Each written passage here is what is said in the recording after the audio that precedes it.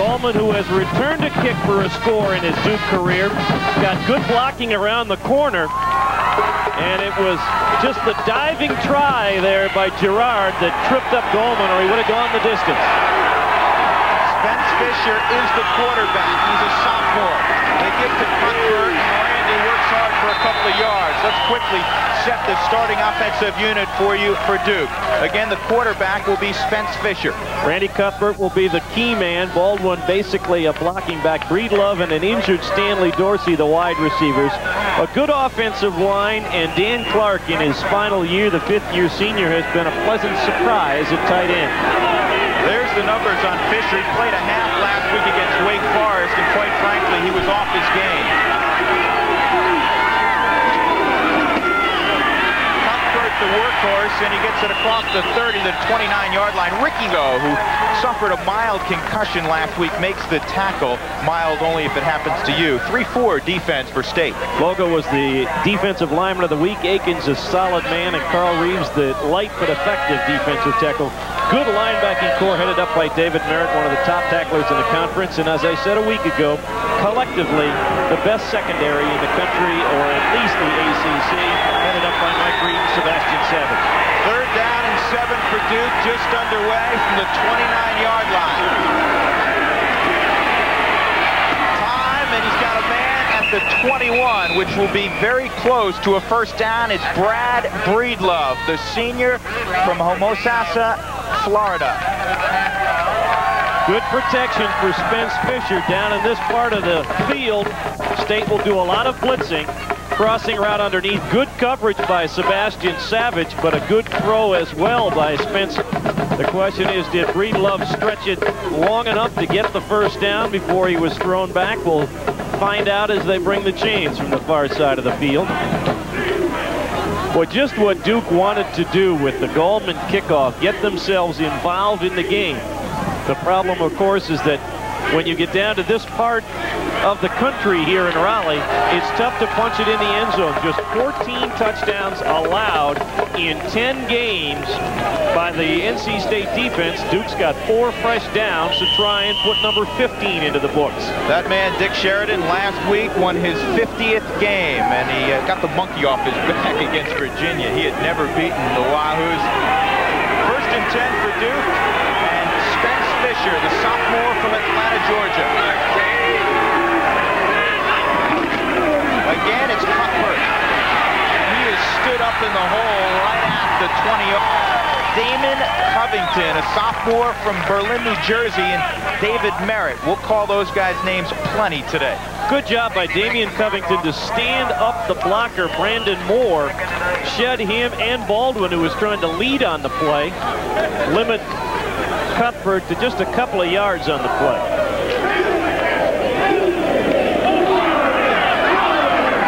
Cuthbert, 107 yards rushing last week against Wake Forest. Usually when he's over 100, Duke is in the win column. Again, short yardage for Cuthbert. Covington again. Covington, as a starter, averaging 16 and a half tackles a game.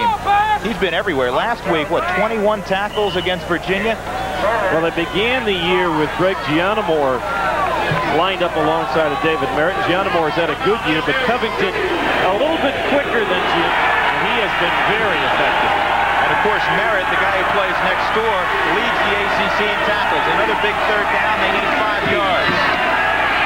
Fisher, will be short of the first down at the 14-yard line. Tyler Lawrence, 58, who was in the end zone last week on an interception in the fourth quarter, makes the stop right there. He's a senior from Greensboro. Robert Baldwin trying to sneak out of the backfield. I think Duke was anticipating another outside blitz with the linebackers. Instead, they ran Merritt from the inside, and the outside backers stayed at home. Good coverage by Lawrence stopped the first down. Number three is Randy Gardner, the all-time kick scorer in Blue Devil history. This will be a 31-yarder from the near pass mark. He's 7 of 14 in field goals this year. And He is hooked it wide, so it wastes the great kickoff return by Leroy Gallman, and they come up empty as Randy Gardner Gardner misses on the field goal, and that'll also help NC State average just 14 points against them a game. 11.01 to go in the first. No score from Raleigh.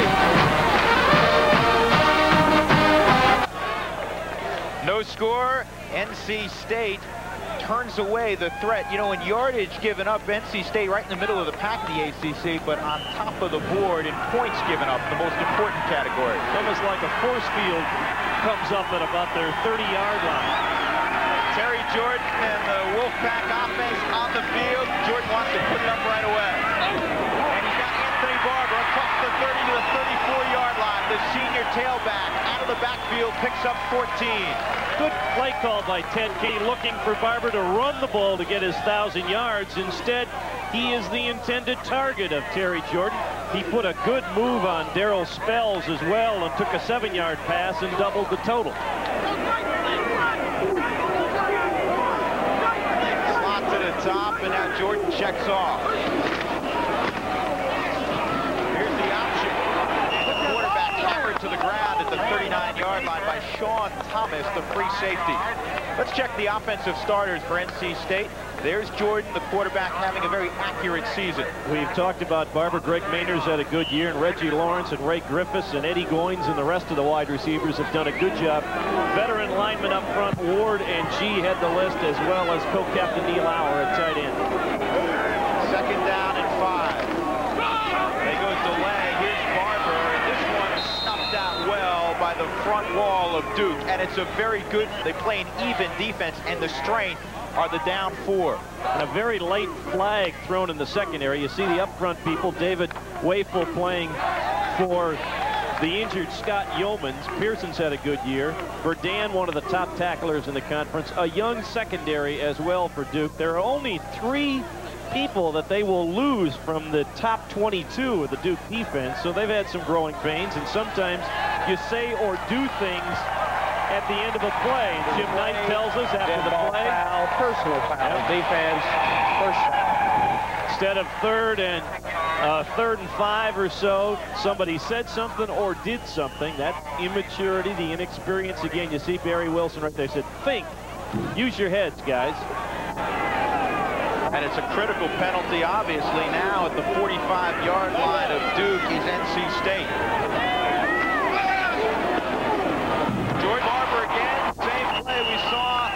Initially. This time it doesn't quite pick up the same amount of yardage, but it's a solid gain. Give him six or seven. Neil Lauer yesterday, the fine tight end, the senior from Fairview, North Carolina, talked a little bit about the offensive unit for NC State. It's a great accomplishment for us, and uh, we feel real good that Anthony's about to do that. And, you know, Greg Maynard's had uh, a, a, lot of yards rushing this year, too. So that, uh, that brings a lot of satisfaction to us to know that, that we're uh, paving the way for him to do that. Speaking of Greg Mainor, he had a hole. The only problem is he lost the football, and Duke gets it back at the 23-yard line. So a critical play. Derek Jackson falls on the football. Well, Greg Mainor with some good running room on a quick little trap inside, and it looked like David or Warren Scoville it was as here was going by him, hooked his arm, and the ball popped loose. And eventually it was Derek Jackson, the senior, who fell on the football. He ran up the back at George Hageman. That's like running into a, a four-story building. Hageman's 332. A lot of movement on both sides of the line of scrimmage, and Jim Knight will have to solve the problem for us. It'll be a march off against Duke. They tried to go to a quick snap, but it wasn't quick enough for some of the guys. Or too quick for others. Everybody was, was ready except P.J. Shunk, the uh, right guard. Dead ball foul, illegal procedure, offense. 9.03 to go in the first quarter. No score. We've seen a football on the floor, and we've also seen a long kick return by Duke. But Duke missed a 31-yard field goal and scoreless. They go wide to Cuthbert out of the shotgun, probably Randy's best run. Damon Covington knocked him out of bounds after about a four-yard advance. Well, Cuthbert has a chance for a 1,000-yard season. He came in today with, you see, the 858 yards. Duke with two games yet to play in the 92 season. And as Drew mentioned in the last drive, that when he goes over 100, Duke usually does very well. 8 and 3 in the 11 100-yard games for Randy Cuthbert. Here's Cuthbert. You won't see that very frequently. He does not drop the ball very much. 28 receptions this year. He had 50 a few years ago, 46 in 1990. He has great hands. I'm trying to see here in the replay if he was taking a peek. Yep, he was. You could see him turn his head looking for Covington just before the football got there. And coaches will always tell you, catch the ball first, then find out where you are. Well, Jack, you're an old wide receiver, and it isn't the adage apply there. Catch it because you're going to get hit anyhow. That's right. Third down in a bunch. They need 11. They're looking at the 34-yard line. Fisher. Downfield. It's going to be intercepted. Ricky Turner, the free safety, hauls it in, and back and forth we go. There might not be any points on the board yet, but it's already been a typical Duke State football game. Wild and wacky. We now pause for a word from your local stations. Spence Fisher is picked off for the ninth time this year, committing the cardinal sin. 1-3, 1004, late down the middle. See all those red shirts in a row there? That's what happens when you throw the ball late down the middle. It just gets too crowded with traffic, and you get a deflection, and Ricky Turner comes up with his seventh career interception as a member of the Wolfpack. And NC State, for the second time this afternoon, will have it in Blue Devil territory. This drive will start at the Duke 40-yard line. Brad Sherrod walking up for Duke on the outside. He's coming on a blitz. Great chance. Does he hang on at the 30-yard line? No, he juggled it. Robert Hinton had it for a moment and then lost it. Looked like the ball banged off his chest, and by the time he re-clutched it, yep, right there. Good call by the officials. That, Jack, you see a lot of baseball. That was a high, hard one. Yes. That was coming. A little chin music, they say in baseball. But Terry Jordan plays baseball for NC State. That's right. You can see why. He's got a cannon. Second down and 10. Jordan putting it up frequently early. He's got his tight end hour, and he takes a lick, and he might have lost the football in there. No, he, well, he did lose it, but they're not going to give it to Jamal Ellis. The junior from Lancaster, Texas, came up and said hello. He gives up a lot of weight to Neil Howard, but a good stick by Jamal Ellis. And I tell you what, well, right there, but when the whistle is blowing, it's still equal possession. So that's why the offense maintained control of the football. And now Ellis is down. Play it ended, and he stood up, and then he came back down, and it looks like something with his right leg is the difficulty. Hours 5 and 250. He's having a marvelous year blocking as well as catching the football. He's a co-captain. His uh, brother Scott was a co-captain. Jamal Ellis gives away about 65 pounds in that collision. Might have had his leg twisted underneath him as he wrestled with the ball wrestled for the ball. Watch, he's just part of the stack. And yeah, right there, the one leg, his left leg was extended, but the right leg was kind of bent underneath it. Now he's jogging off a little bit, trying to shake off the effects of that. It might have been a slight hyperextension or something of that nature. Jordan has now thrown four balls and completed three of them for 30 yards. They've all been underneath. You keep waiting for him to air out the home run toss. Third down and three. State needs the 30-yard line.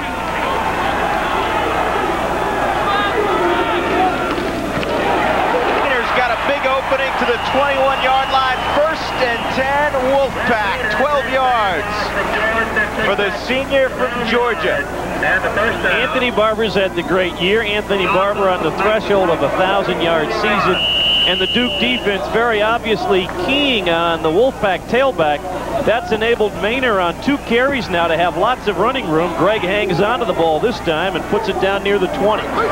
Neil Auer in the slot to the top. Anthony Barber with some running room, and it closes down very quickly. Darryl Spells made the stop a year ago. He was second in the conference in tackles. He's a four-year starter. He's on that all-time tackle list, not only in uh, Duke history, but ACC history. He's a fine one. Down and five, 7-14 clock moving. Left in the first quarter, no score from NC State. This is Maynor again. Greg inside the five. Maynor into the end zone. Touchdown, Wolfpack. 16 yards. And the fourth touchdown rushing for. Excellent block by Sean Johnson, number 77, the left guard for the Wolfpack. Watch the left side of your screen. Right there on the middle linebacker, Scott Burdan.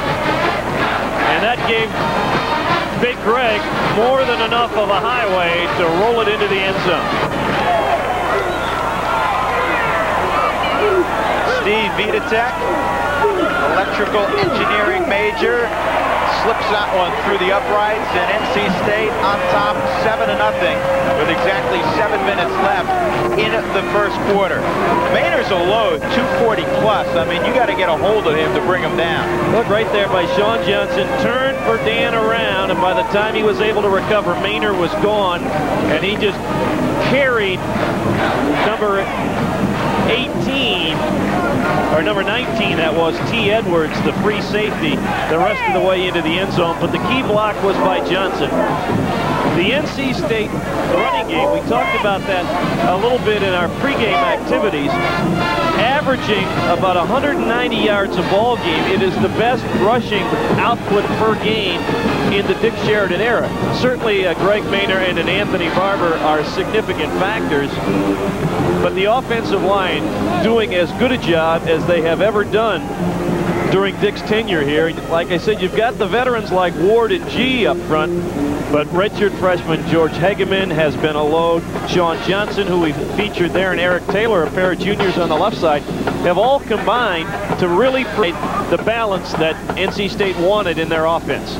One of the interesting things about the, the complexion early of this football game, as you look at Breedlove back, he is one of the nation's leader in kick returns, is that NC State has used the pass to set up the run, different than they normally do.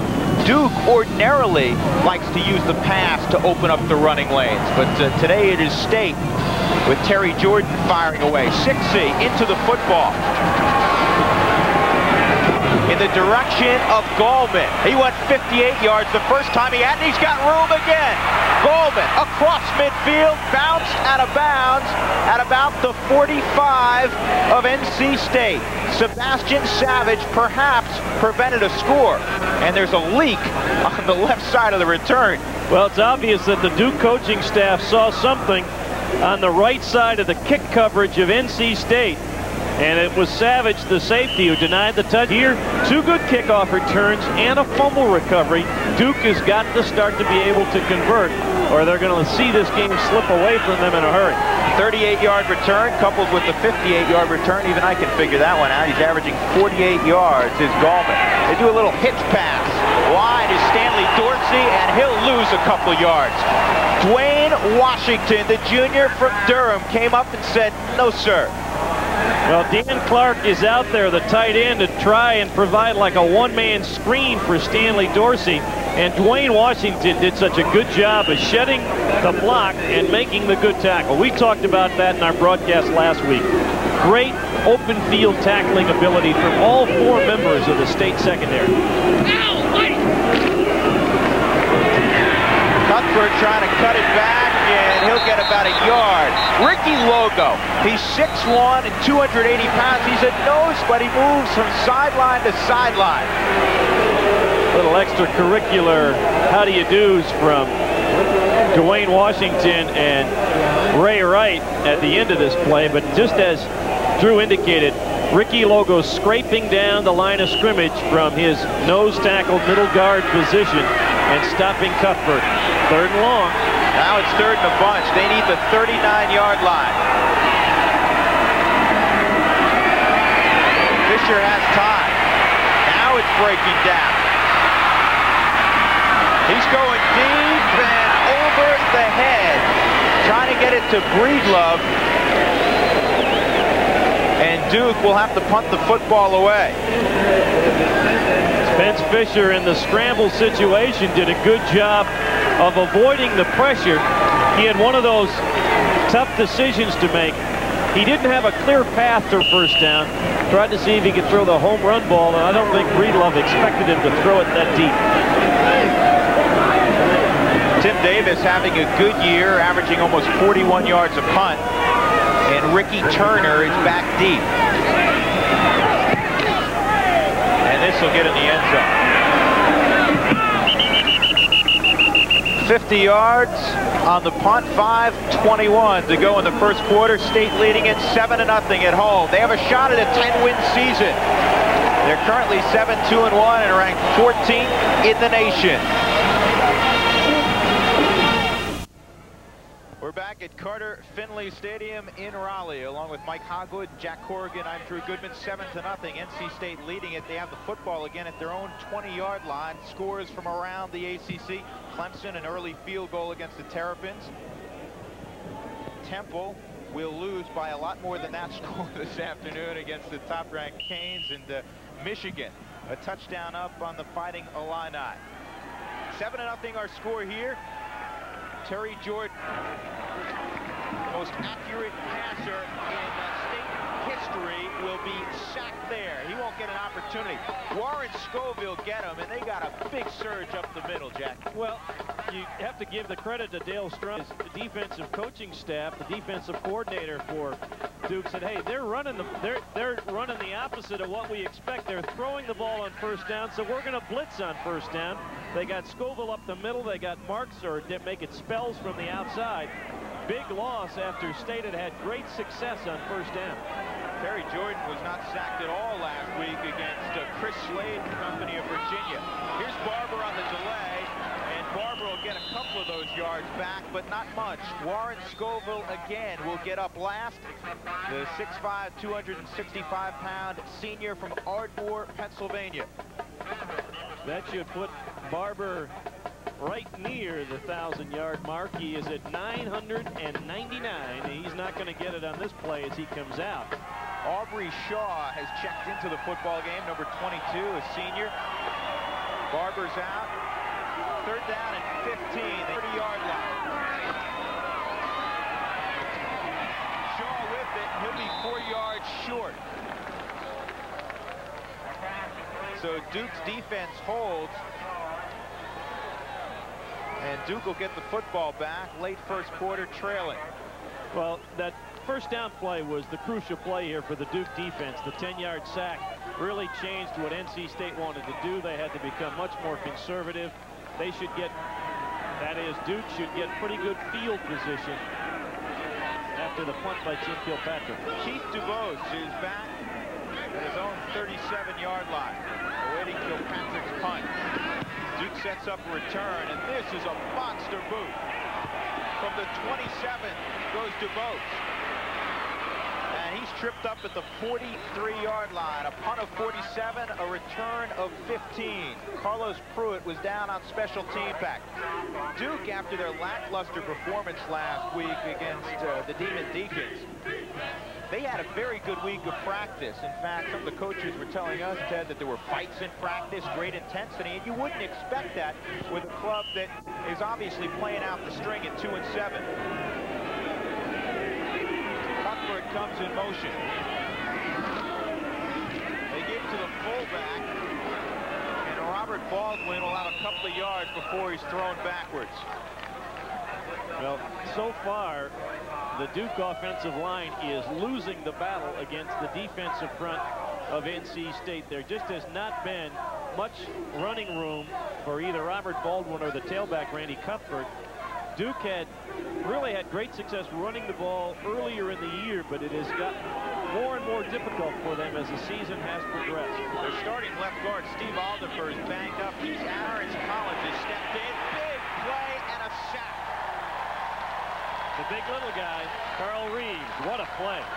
10th sack of the year for Reeves, the 219-pound defensive tackle. That's right, only 219. Well, Logo forced Fisher out of the pocket, and Carl Reeves had too much quickness for Brandon Moore, the left tackle. Big loss on the play. He is a remarkable story, and he's got a couple of more years yet to play in a Wolfpack uniform.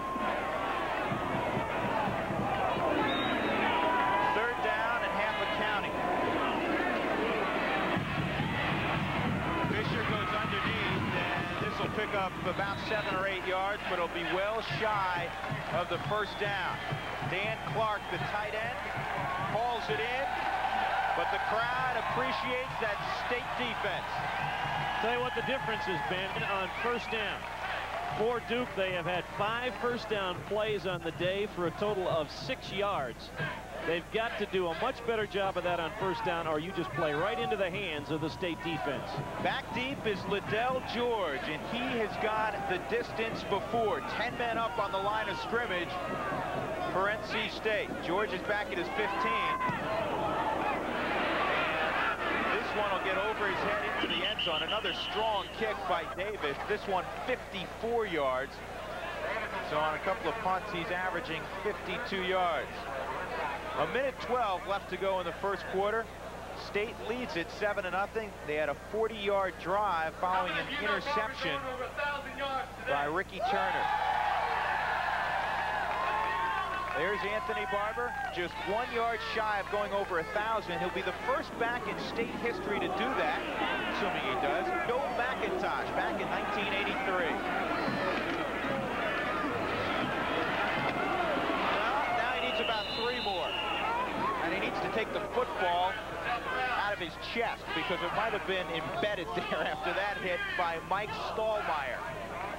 Daryl Spells helping out Mike Stallmeyer. There's Joe McIntosh, who played in the early 80s here at NC State. He was an exciting running back for the Wolfpack and a little bigger player than Barber, but Anthony has had a fine career and this is his best season here in Raleigh. Barber, well, I would think they'll give him two, which will put him at an even grand. James Kirkland brought him down. A thousand yards, I believe, for Anthony Barber. Yep, officially, there it is. Six yards a carry. You know, Jack Rear, 5.4 carry, which is best all time, better than Ted Brown averaged in his fine career here in Raleigh. And the crowd now gets the official word. Third down and nine for State.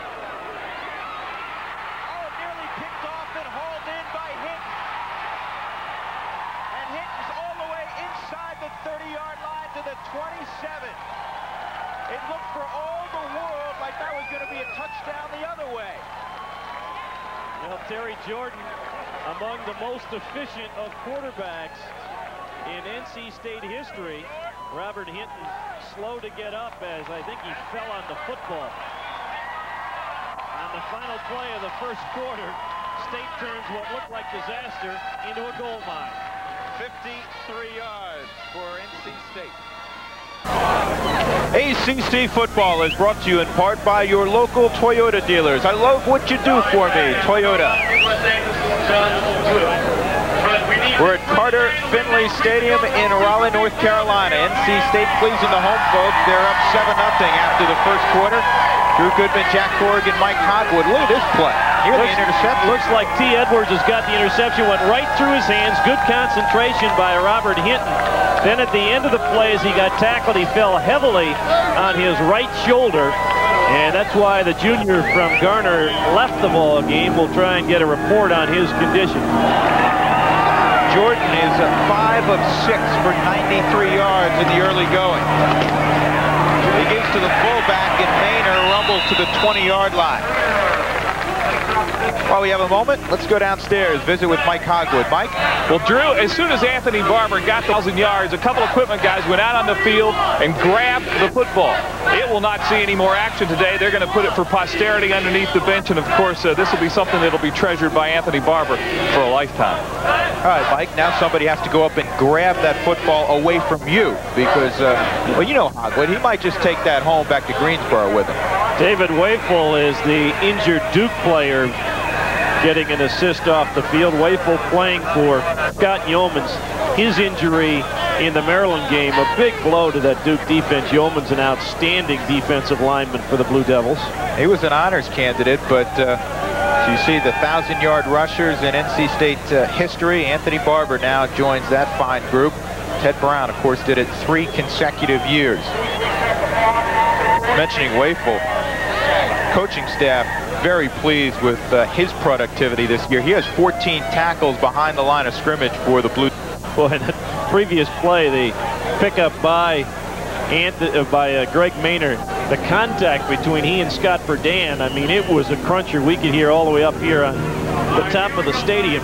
Verdan gives way in terms of weight to Maynor. Maynor at 241 and Verdan only at 235 second down and four trips or three receivers to the top of the formation. Jordan looking in zone. Anthony Barber. Hello. Touchdown. Wolfpack.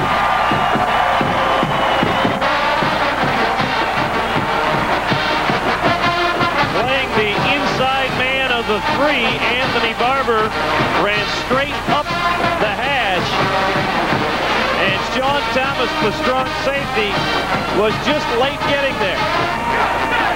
Right between the two safeties, Jackson and Thomas. Videtich on to tack on the 14th point. Right down the heart.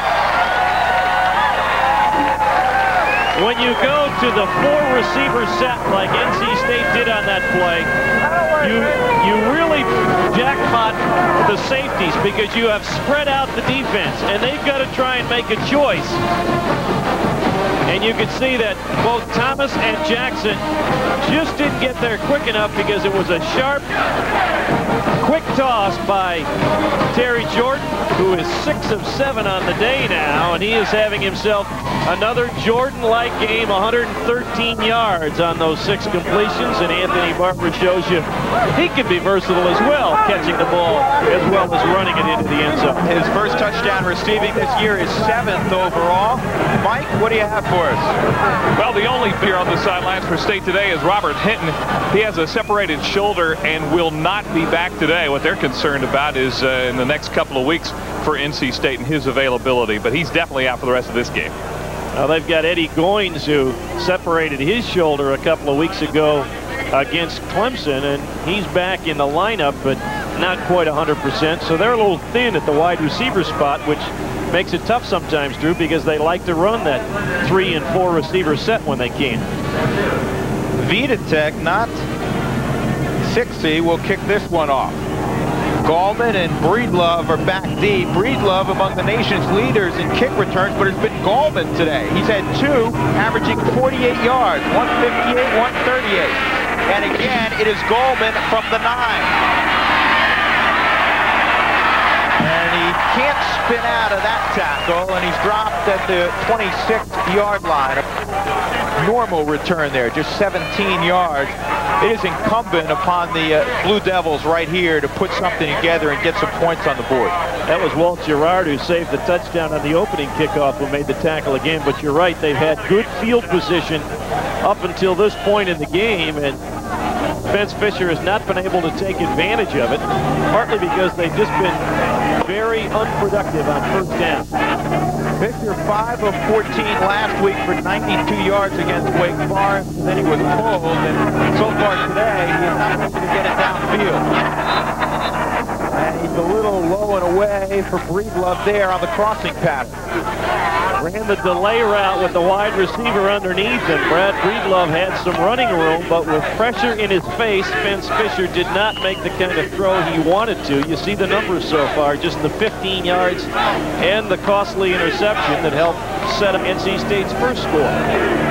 From a defensive perspective, Buddy Green, the coordinator for NC State's got to love this. Second and 10, you're a lot more predictable than you are when it's second and four or five. The delay, nothing doing. Duke can't get a running game going at all today. Well, credit a lot to that guy, the big man in the middle there, number 90, Ricky Logo. He did that to Virginia last week. Virginia had some success early in the game running the football, but then that got away from the Cavaliers. And Logo's the kind of guy that clogs things up, to say the least. Robert Baldwin got three.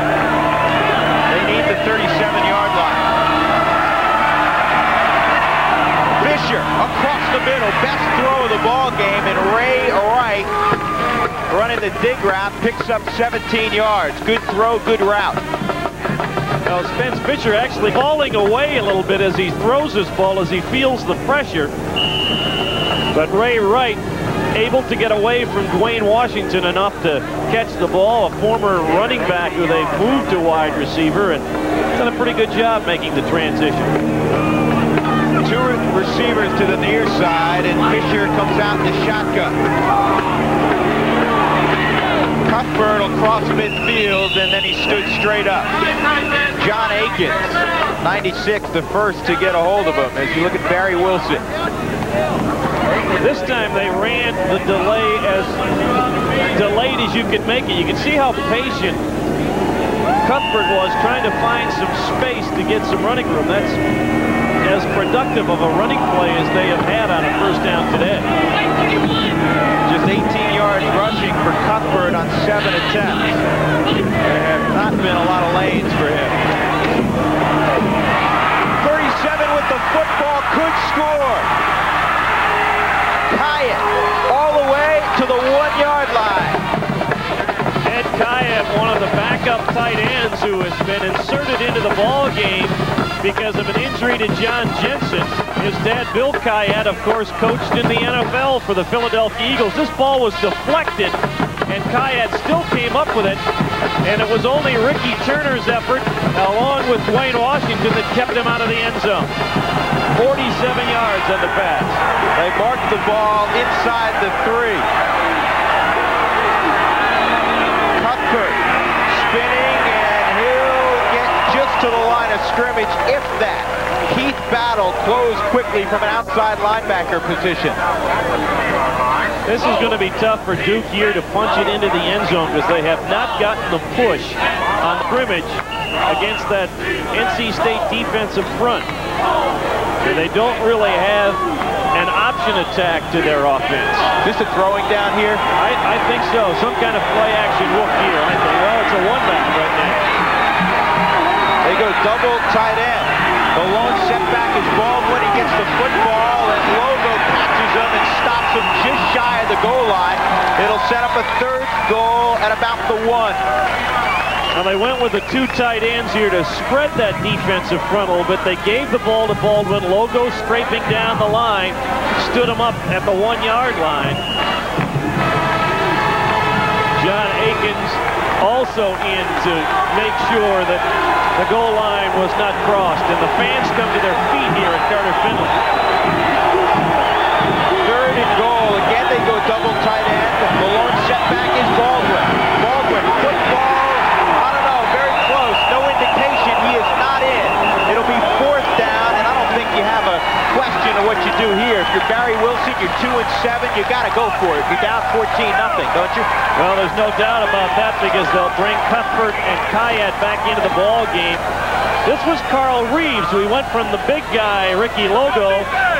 He had a piece of it as well, but it was Carl Reeves, the smallest of the defensive linemen, who held his ground. And now Duke is going to take a timeout to make certain they are about a foot or less from the end zone.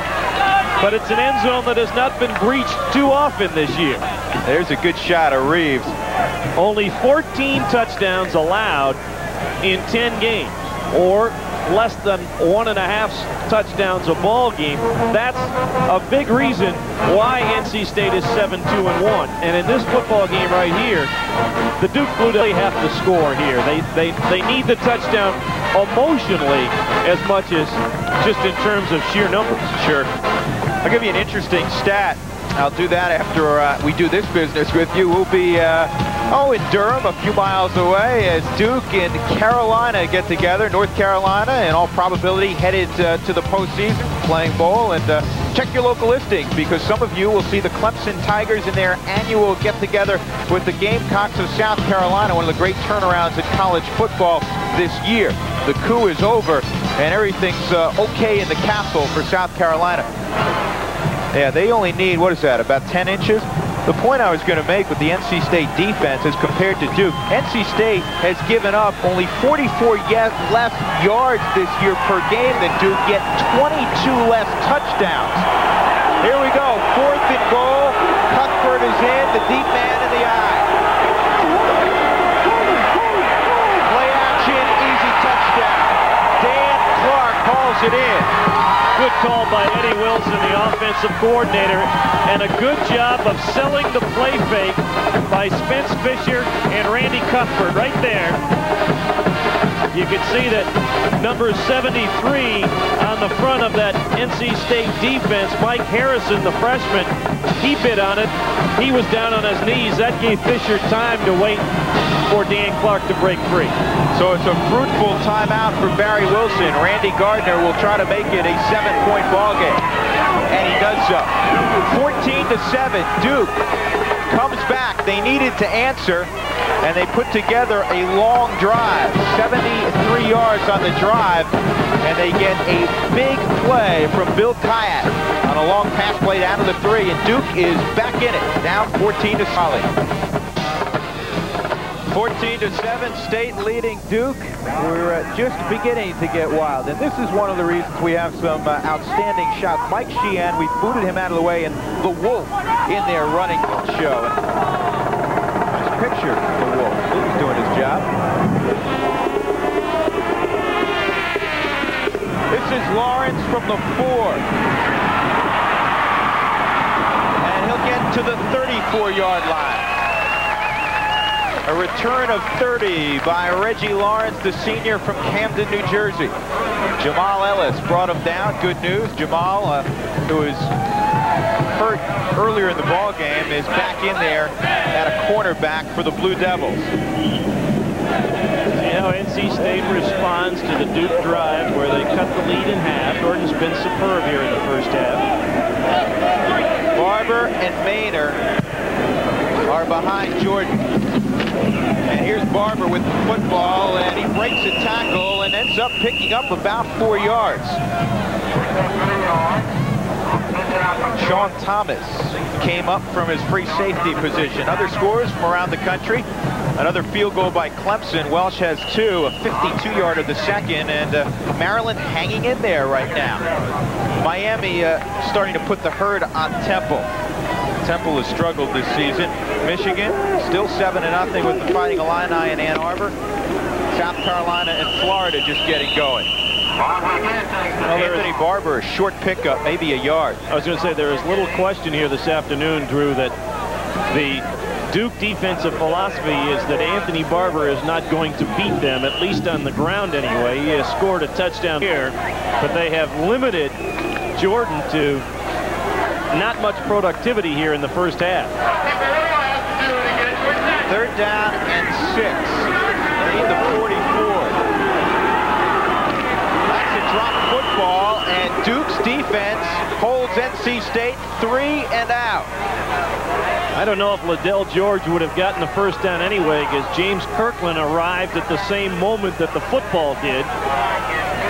And number 94 for the Blue Devils made certain that Kilpatrick had to punt it again for the Wolfpack.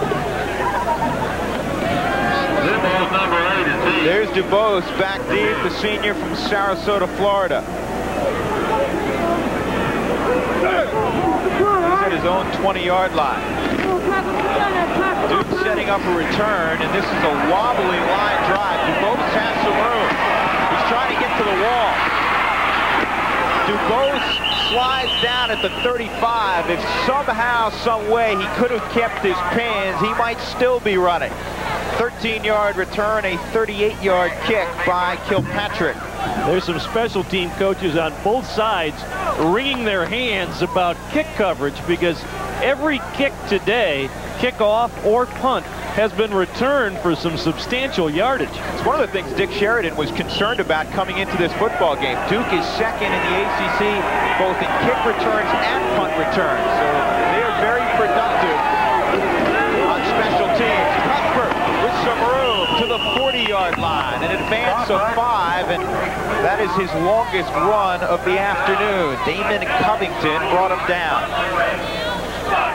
Well, you're having trouble running the football between the tackles. A quick toss sweep this time to Randy Cuthbert. Good open field tackle by Damington, or it would have been more than five.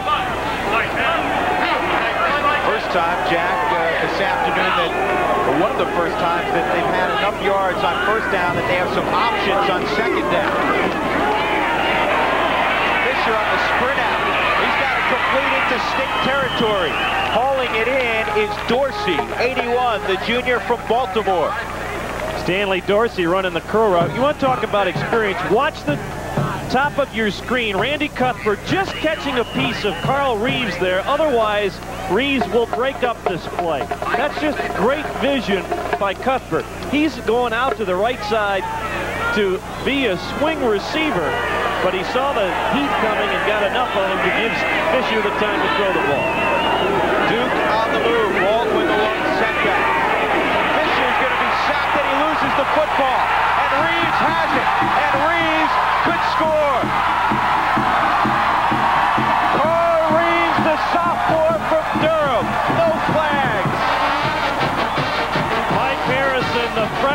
With the pop.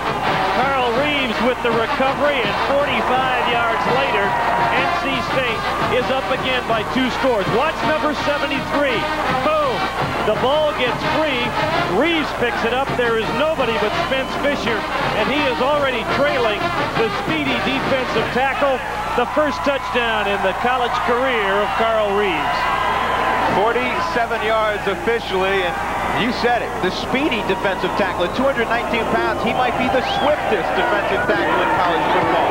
Videtich gets it through 21 to 7. You think Jeff Snipes, the defensive line coach, is happy? A true freshman makes the pop. A true sophomore makes the recovery for a touchdown. Those guys are going to be around for a while. Harrison has played very, very well this year. What a big play because Duke was uh, starting to move the football and Spence Fisher's confidence had been growing since uh, the touchdown a few moments ago. So Duke, again, down by two scores in Raleigh. 21 to 7, NC State leading by two touchdowns. Buddy Green's defense has done it again for the third straight week and the 11th time in the last three years they score a defensive touchdown. Well, it was Mike Harrison, the true freshman, who just beat Jerome Egg, the freshman, or make it the sophomore center for the Duke Blue Devils, and sophomore Carl Reeves picked it up and cruised 45 yards for the score. Three defensive touchdowns in the last game and a half for the NC State defense.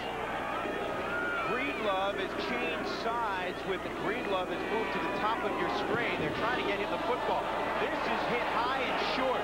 One of the upbacks will take it at the 23. And he'll get it out to about the 33-yard line.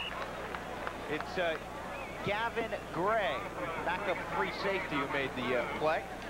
The announcers for this game are selected and compensated by Jefferson Pilot Sports. This broadcast is a copyright presentation and the use of this broadcast without the express permission of the Atlantic Coast Conference and Jefferson Pilot Sports is prohibited. You read that so well. Thank you. Spence Fisher. Uh, in the game, we we're talking about his confidence growing, football. See what he can do here on first down. They go with delay. And back to the line of scrimmage goes Baldwin, and that is all. Guess who? Carl Reeves and Mike, two guys who teamed up on the last play, the young defensive tackles. Watch Harrison slide off his man, make first contact. Reeves from behind, and Keith Battle on the top. you get away from Ricky Logo, but your troubles don't end. Sets up one of those second and long situations. Ball tapped and falls harmlessly to the turf. The 21, William Strong, was closest on the rebound. He's a corner for State, and it'll be third and 10. Trying to find Brad Breedlove down the middle. Let's see who gets a piece of this pass from Fisher. It's Damien Covington sliding by. Again, that's what we talk about. You want to attack the middle because it's vulnerable throwing the football. But the longer the play takes to, to, to, develop when you throw it down the middle, the more something like that is going to happen. Third and 10 for the Blue Devils. They go out of the shotgun. Tight end's Clark, but I think he is going to be about a yard short of the first down, particularly with the spot they're getting now. Tyler Lawrence made the tackle and covered him up right there. It indeed will be fourth down, and Fisher wants to stay on the field, but uh, Barry Wilson thinks better of it. Maryland has scored a touchdown in the second quarter. The quarterback, Kaleo, from a yard out, sneaks in, and Maryland right now leading 7 to 6. Liddell George is back deep, and Tim Davis will punt the football. And again, 10 men on the line of scrimmage for NC State. They back out of it. This is returnable. George comes up to the 25, and he'll get to the 40-yard line. 34 yards on the punt, but the net is only 19 after the 15-yard return. Good field position for NC State. We head downstairs to Mike Hogewood. Well, Drew, you and Jack may have noticed, and I'm sure you have, that if there's a vulnerability on this state team, it's in the special teams. It's something that has plagued them all year long, even in the Iowa game. You may have noticed on that last state kickoff, they decided to take the run back away entirely. They put Jimmy Sixai in, who's great at hitting those kickoffs straight up in the air, so there is not much of a run back. Thank you, Mike. 6.01 to go, second quarter. 21 to 7, Wolfpack. Jordan looking for more flags fly. Barber has it. Barber. He's at the 40. Anthony Barber. And he loses the football. Duke's on it if it stands. Keep in mind, a flag came down in the area of motion or procedure against the offense. Could be one of those good news, bad news situations. Bad news for Duke. Offside.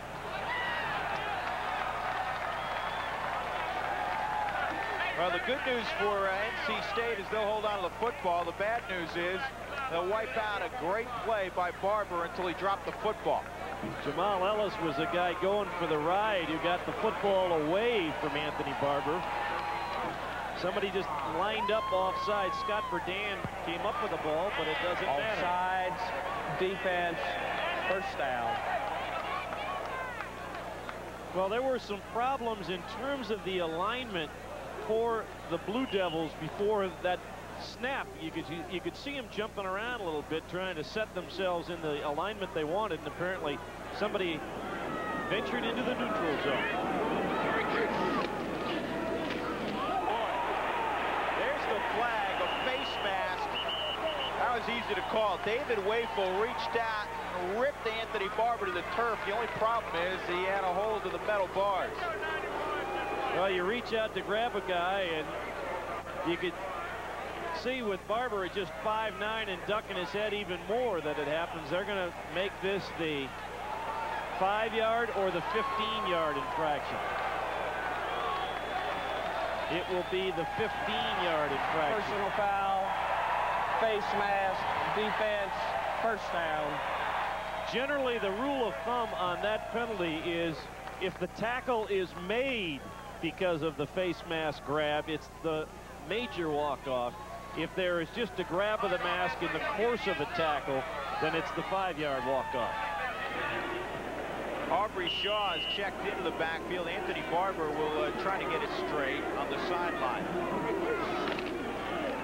Looks like a reverse is coming. This is read by Duke very well. It's going to be a huge loss, a loss of 15. Eddie Goines. The first time we've been able to call his name this afternoon, coming back from that separated shoulder, and he says, gee, thanks, guys. Where's the blocking?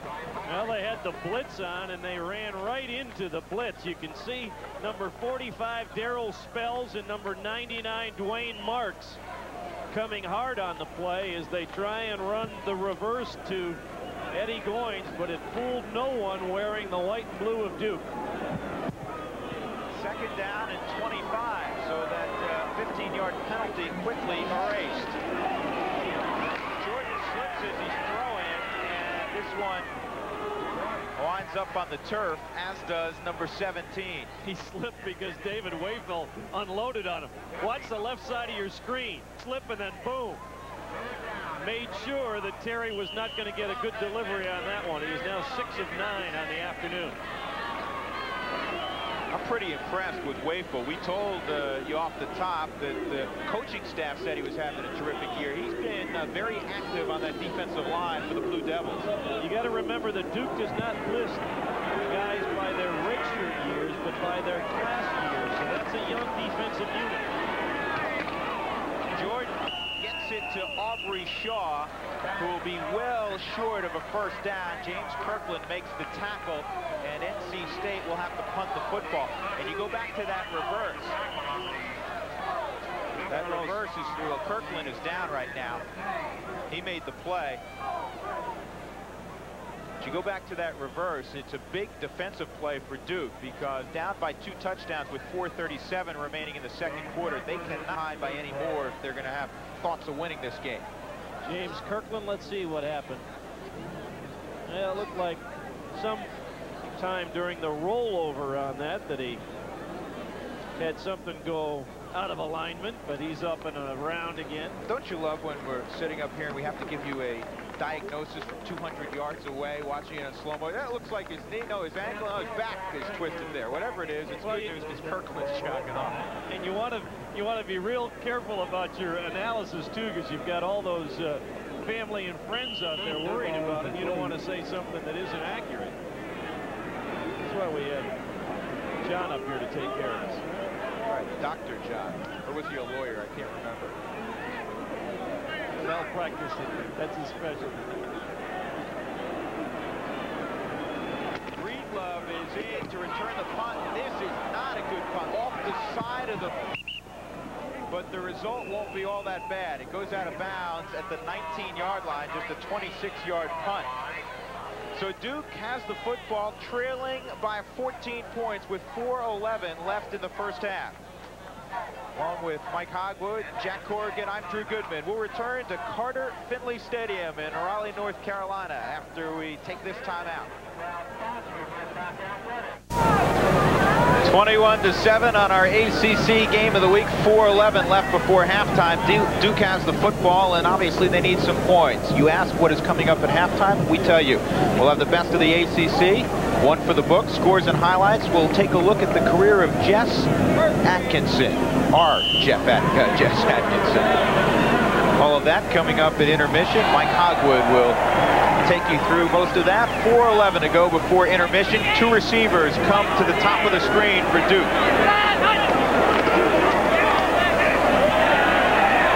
Fisher, oh, breaking on the football was Tyler Lawrence, and he said, I might get in the end zone for the second straight week. Tried to look to his right, did Spence Fisher, to throw back to his left to Robert Baldwin, and Tyler Lawrence, who picked off a very similar play for a score a week ago, as Drew nearly had his second in weeks. Senior from Greensboro, 6'5 and 240. Well, he has the size to play on the outside. In fact, he has the size to play wherever he wants to coming. Cuthbert has it out of the backfield, and it's a very minimal gain. Boy, NC State really runs so well. Carl Reeves, the defensive tackle, started upfield and ends up making the play on the sideline. Well, I don't know if they have the overall team speed of the Florida State defense, but you're right, Drew. They have good quickness, and maybe as important or more important, they have good football sense. They, they recognize quickly and adjust. You mentioned Reeves. He felt the screen, knew where to go. Second down and nine.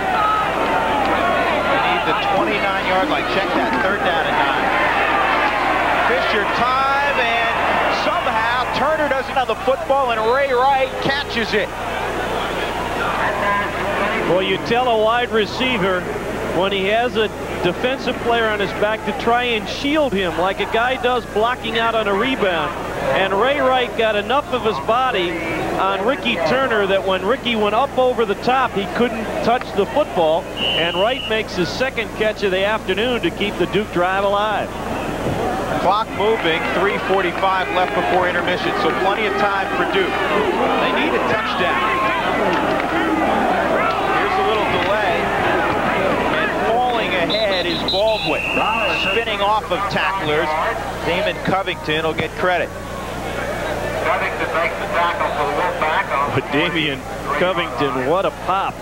He's already got nine tackles this afternoon, 21 last week. And we told you he averages 16 and a half. I mean, that'll give you a sore shoulder. 16 and a half as a starter. And the guy next to him, David Merritt, leads the ACC in tackles. Toss sweep, Cuthbert. He's got the corner, and Cuthbert will have the first down into NC State territory. Now they caught the Wolfpack defense trying to make a shift. Keith Battle didn't know where to go. He started on the left side, started to run to the right side, started to run back to the left when they snapped the football. And they ran right in the area that he vacated. Behind P.J. Shunk, the pulling guard on the play, Cuthbert got around the corner and picked up the first down. Pretty good job by Battle because uh, even though he didn't know what direction he was going in, he ended up making the tackle. The numbers early on Cuthbert. The NC State defense has done a great job of corralling. Fisher sliding out of the backfield is Cuthbert. He wisely gets as much as he can and then steps out of bounds, stopping the clock. David Merritt ushered him at a 13-yard pickup. 2.38 left before intermission, and Duke is on the move. This is a football team, Jack, and you hate to say this, but their record is truly misleading. They've been in a number of football games. They just can't make big plays when they need to. Well, as Dick Sheridan talked about right at the beginning, I mean, they should have won the game against Maryland. They were flat last week against Wake and still had chances to be in that game. They played well at Clemson. They should have won at Georgia Tech. Cuthbert winds his way to the 30-yard line. A strong advance on first down. Give him seven yards before the free safety Ricky Turner brought him down. Now you're into the spot on the field where the NC State defense starts to gamble a little bit. And it was a good play call that time by the Duke offensive staff. But Cuthbert picked up seven. Now it's a little more guesswork for the pack because it's second down and shoot down at three. And Fisher will change the play.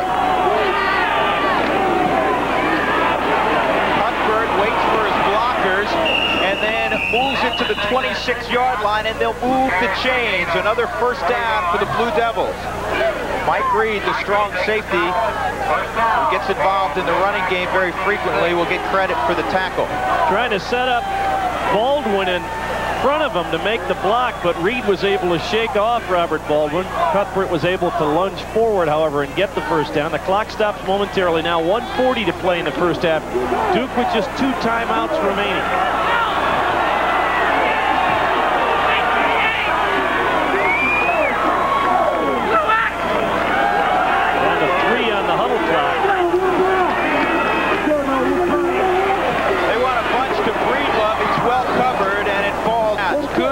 Job by Sebastian Savage. The honorable mention All-American a year ago. He was a first-team Atlantic Coast Conference pick.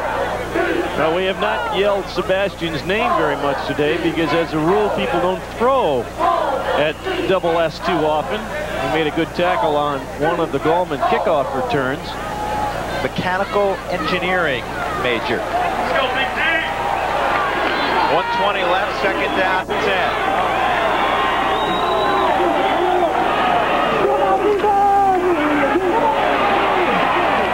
Fisher a little high and a little strong. He was trying to get it to 37. Khayat, who made the big play setting up the lone Duke touchdown earlier in the half. So now it's third and 10 with 114 left. And we talk about NC State. This is where they play their strongest defense. Well, what they did down play is they convinced Spence Fisher that they were coming with the all-out blitz, and he checked off to the fade route, couldn't complete it. That time they did blitz. Now he's stuck with a third and ten. They, I bet, are coming again. Yes, they are. Covington's coming, and they got a safety blitz on. Complete to the 20-yard line. That's going to be short of a first down. Ray Farmer, backup tight end, a true freshman from Kernersville, North Carolina, hauls it in. And they'll call a timeout here and take a look at their options on fourth down and five. They rushed six on this play. So Fisher dumped it off to his tight end, and another good tackle in the open field. Tyler Lawrence stopping Farmer shy of the first down. With them, with Duke down two scores, two touchdowns. Tough decision here for Bear because he knows that NC State will get the football to start the second half. You've got a chance to cut it to a 21 to 10 game, but you've had your kicker Randy Gardner be very erratic this year. He has missed a 31-yard field goal already in this game.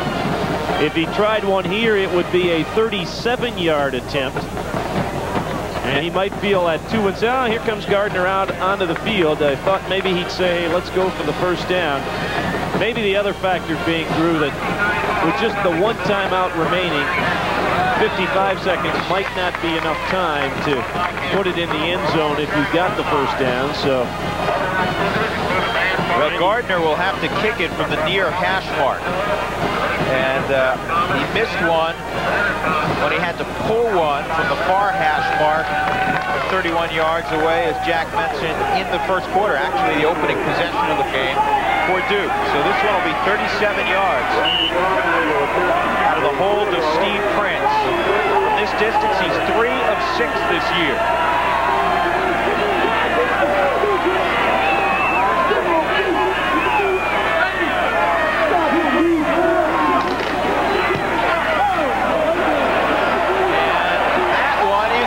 so wide. So he overcompensates twice, and Duke comes up with nothing.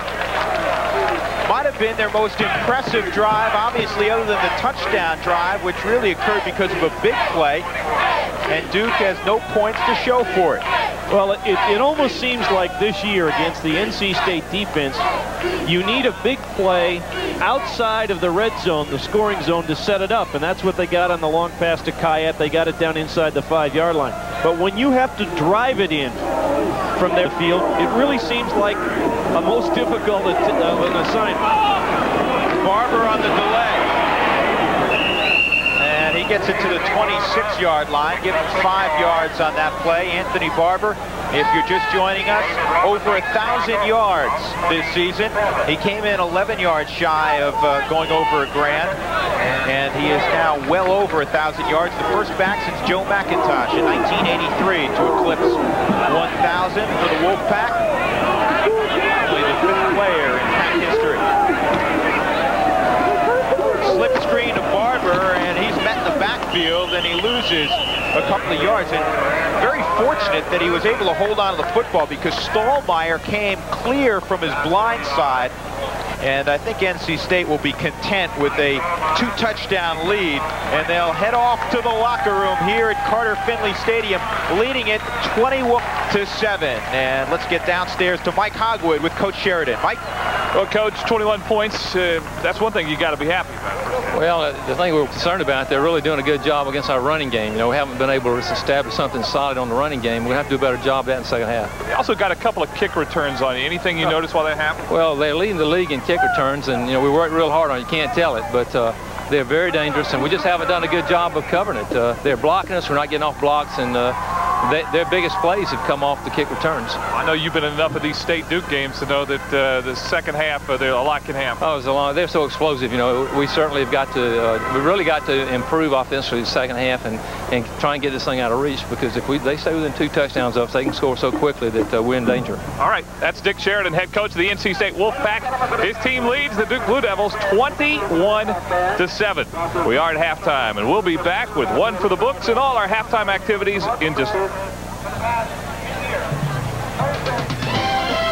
Exxon ACC Game of the Week is brought to you by Exxon 93 Supreme Gasoline. For high performance, rely on the Tiger. By Lowe's, helping add value to your home. By BC, for powerful pain relief. BC Headache Powder. No matter where you're hurting, nothing works faster than BC Powder. By Shoney's Breakfast Bar, the best breakfast in town. And by Coors Light, the silver bullet is the right beer now. We're back at halftime, Carter Finley Stadium in Raleigh, North Carolina. The NC State Wolfpack leading the Duke Blue Devils 21 to 7. Hi, everybody. I'm Mike Hogewood. You may have heard Dick Sheridan a moment ago say he knows this game is far from over. He remembers, I think, that game a year ago, 32 to 31. His NC State Wolfpack pulling it out in the final minutes of it. Well, we've had some big plays in this game today, and it seems that NC State's character all year long and one of their keys to success has been big plays on defense. Carl Reeves, the sophomore from Durham, has tremendous quickness, and he shows it here as not only was he in on the sack, but he was able to pick up the football and take it in for a touchdown. One of three first half touchdowns for the NC State Wolfpack. And again, they lead at 21 to 7. It's certainly a, a tremendous, tremendous play on the part of Carl Reeves. Was uh, some exciting things happening here at halftime. They're honoring the uh, 1967 team. And meanwhile, we'll tell you about the running game. Randy Cuthbert and Anthony Barber the two standouts for each school, Cuthbert from Duke and Barber from NC State. And there you see that Cuthbert has 45 yards rushing. Now remember, if he gets 100 yards, Duke historically has been in pretty good shape. Barber only has 22 yards on the ground, but those 22 yards were certainly enough to propel him over 1,000 for the season. I think we're in store for a great second half, even the score 21 to 7 now at halftime. We'll be back. More halftime activities are coming up here in Raleigh. It's time now to tell you about our Shoney's Player of the Week. Charlie Ward, the quarterback of Florida State, 111 yards rushing a week ago against Maryland, 395 yards in the air. Florida State has rarely had a better offensive day. They put 69 points on the board. Charlie Ward, our Shoney's Player of the Week. We're at halftime at Carter Finley Stadium, state leading Duke. I mentioned a moment ago that the 1967 team is being honored here at halftime. One of the stars on that team was kicker Gerald Warren, who year set an NCAA record for field goals in a season. Gerald, what's it like being back here and with your old teammates? Mike, it's a real pleasure to be back here. Many, many wonderful memories have been brought back at this reunion. And to be a member of the team that's considered as the greatest team in NC State football history, it's a real source of pride to all of us guys on that team. Yeah, I know you got to go. They're getting ready to honor you guys, so we'll let you go get gathered with your teammates. Thanks for taking a minute and stopping by and visiting with us, the Liberty Bowl team of 1967. All right, now it's time for us to go back in ACC history, one for the books, and let's talk about a former Maryland kicker who's now a pretty good ACC football announcer, Jess Atkinson. Delta, the airline of ACC country, is proud to bring you another ACC football one for the books. Delta, we love to fly, and it shows. The early 1980s was an exciting and prosperous time for Maryland football. Kicker Jess Atkinson was a major part of that excitement. His record of 93 consecutive extra points still stands today. Jess had the opportunity to kick in many big games, but he remembers one game in which he did more than just kick a game many consider the most memorable of that time. It was 1983, and Carolina was ranked three in the country, and they were undefeated, I think, and we, it was our test. I mean, we'd beaten them the year before, but this was kind of our test to see if, if it was a fluke. And they came in here, it was just before Halloween. It's my favorite game simply because as a kicker, kicking's boring. I mean, you go out there and you kick and you kick, and it looks, I mean, your highlight film, I don't care if it's 20 yards or 50 yards, it looks the same. You do the same thing every time. So in that game, I recovered a fumble, I threw a block, I kicked a couple of field goals, and it came down to Stankavage throwing a, a, a pass um, to one of his backs and just missed the hookup. And I remember the people, assuming there was a minute left in the game, people were on the field immediately. And that was the kind of atmosphere that it was.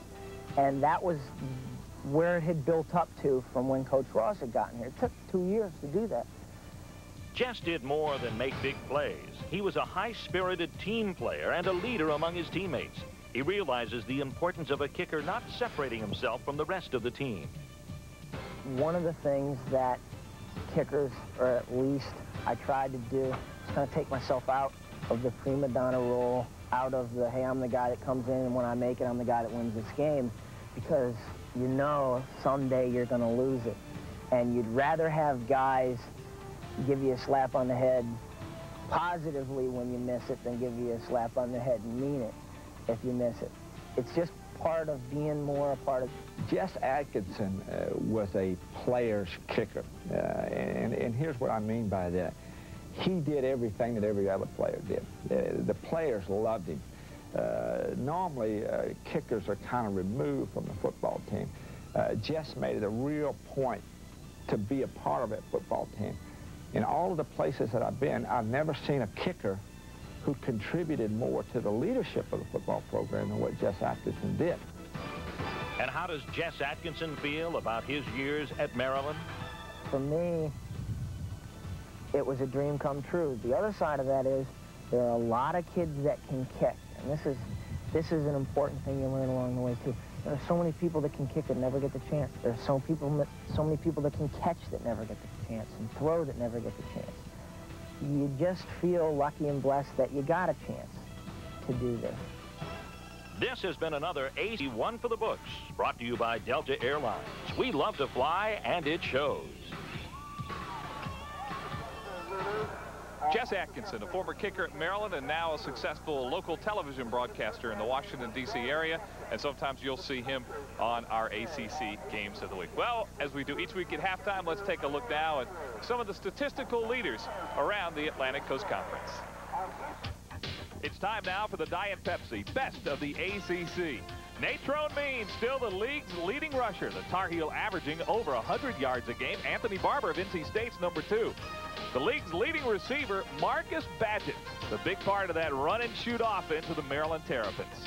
John Kaleo, the quarterback at Maryland, is the total offense leader. Charlie Ward of Florida State's number two. David Merritt of NC State is the league's leading tackler. And that is the Diet Pepsi, best of the ACC. Halftime at Carter Finley Stadium in Raleigh, North Carolina State leads Duke 21 to 7. We'll be back, but first these words from your local ACC station.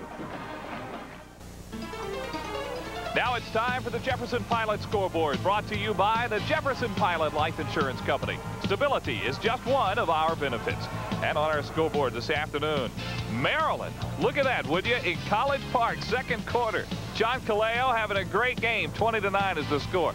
Number one, Miami, all over Temple at halftime. Third-ranked Michigan having a pretty tough battle with the Fighting Illini at 7-6 that is at halftime. Our score here in Raleigh, 21 to 7, NC State over Duke. If you've seen these games over the past couple of years, you know the second half could bring us anything. And to find out what might happen and to get an analysis of the first half, let's go upstairs now to our Here's Drew Goodman and Jack Corrigan. Okay, Mike, thanks very much. Yes, if you follow the recent history of this game, just about anything could happen in the final 30 minutes. When we look at the numbers here, you're going to see something strange. Duke has outgained NC State today, and they, they did it against Clemson. They did it against Georgia Tech. Their problem is scoring. And you, the four halftime stats, just as Drew was talking about there, an eight-yard difference, but the two missed field goals and the turnover that turned into a touchdown. The difference for NC State, pretty much the way they have done it all year. This is almost a carbon copy of last week, and we'll see how the, the second half goes. The difference being that NC State got their scores early in this game with their offense, and they got it with not Anthony Barber carrying the football, but Greg Maynor got a good block from Sean Johnson on Scott Burdan, the middle linebacker, and the 240-pound fullback did the rest to put State up 7 to nothing after Duke had squandered a chance on a kickoff return. They came back and found Anthony Barber catching the football rather than running the football. Found a hole between the two safeties. That made it 14 to nothing.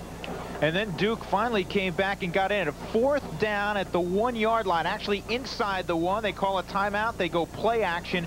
It was a good call because Dan Clark came free in the end zone. At that point, it was 14 to 7. The difference in this football game, obviously, the sack and Carl Reeves rumbling 47 yards the other way, but State puts that in their game plan every week, don't they? We'll come back. State leading 21 to 7.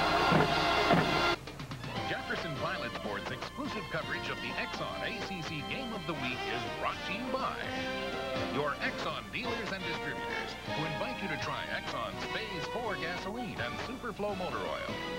By Pepsi and caffeine-free Pepsi. Gotta have it. By Buick and your Buick dealers. Remember Buick, the new symbol for quality in America. By Southern National, the bank for tax advantage loans. And by Schlitz Malt Liquor. Try new Schlitz Malt Liquor Genuine Draft, the draft that's more than a beer. You'll like it like this. And we welcome you back to Carter Finley Stadium in Raleigh, North Carolina, where the Wolfpack leads 21 and over the Duke Blue Devils. And the Wolfpack trying to uh, own the neighborhood. They've beaten North Carolina five straight times, and they're trying to make it five in a row against Duke. Duke, as we just showed you, more total offense, but they are struggling to put points on the board as they have struggled all year.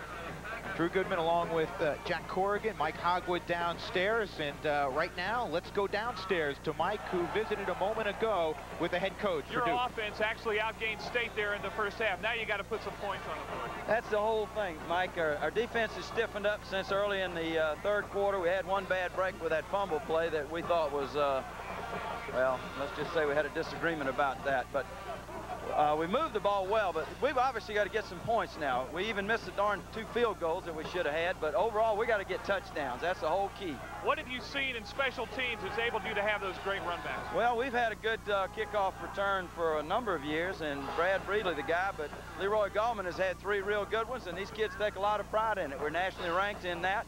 Uh, we don't want to have to return very many kickoffs, but when we do, we want to be good at it. All right, that's Barry Wilson. Go get him, coach. Head coach of the Duke Blue Devils. He thinks his team can come back. Back upstairs. All right, Mike, thanks very much. History tells us, yes, they can when they're playing the folks from Raleigh.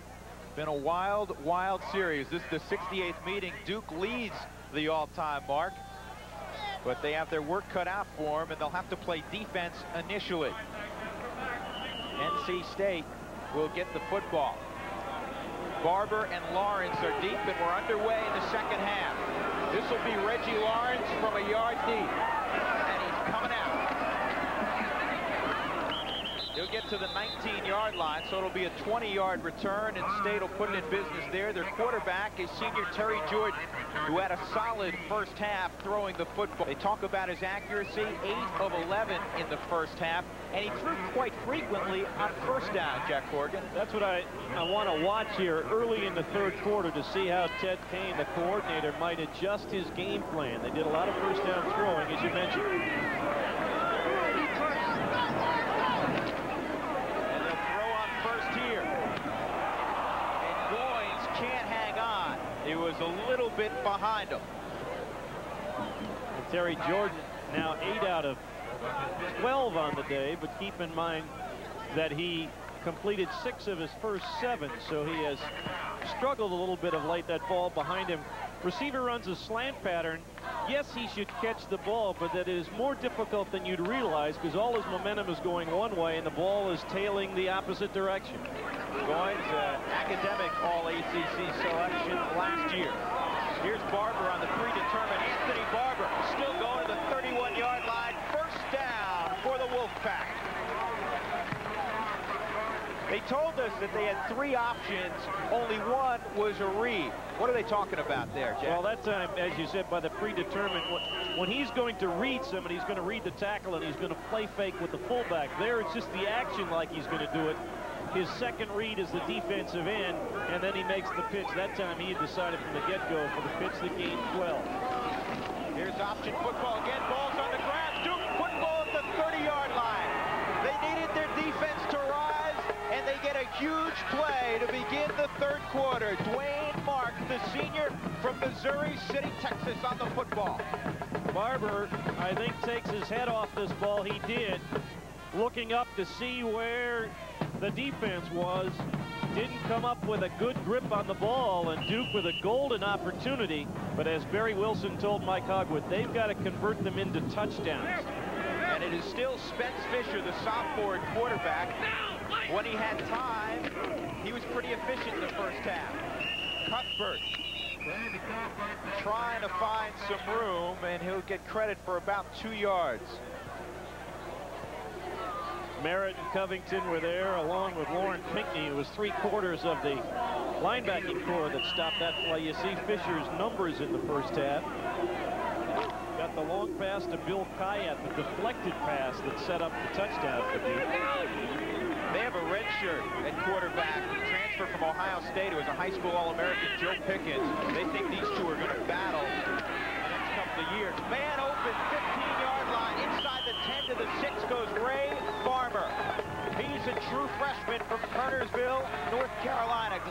School, 12th catch on the year. Yeah, much more effective Spence Fisher is when he throws quickly down the middle. There's Nothing wrong with throwing down the middle of the field. You just can't wait a long time for the underneath coverage to get there. You see, because it was delivered sooner, Merritt and Covington couldn't provide the help underneath. They go on the ground. Five to the two. And maybe inside of there, David Merritt finally does stop Randy Cuthbert. And I'm a little surprised. I figured they would go play action there from the seven because they've struggled running the football, but they get a good push on the corner. And they got a good block on the flank as well by Brad Breedlove. You know, to run on the perimeter, your wide receivers have to be able to stalemate the cornerbacks, and he did a good job that time to take it down less than the length of the football from the goal line. Second and goal inside the one.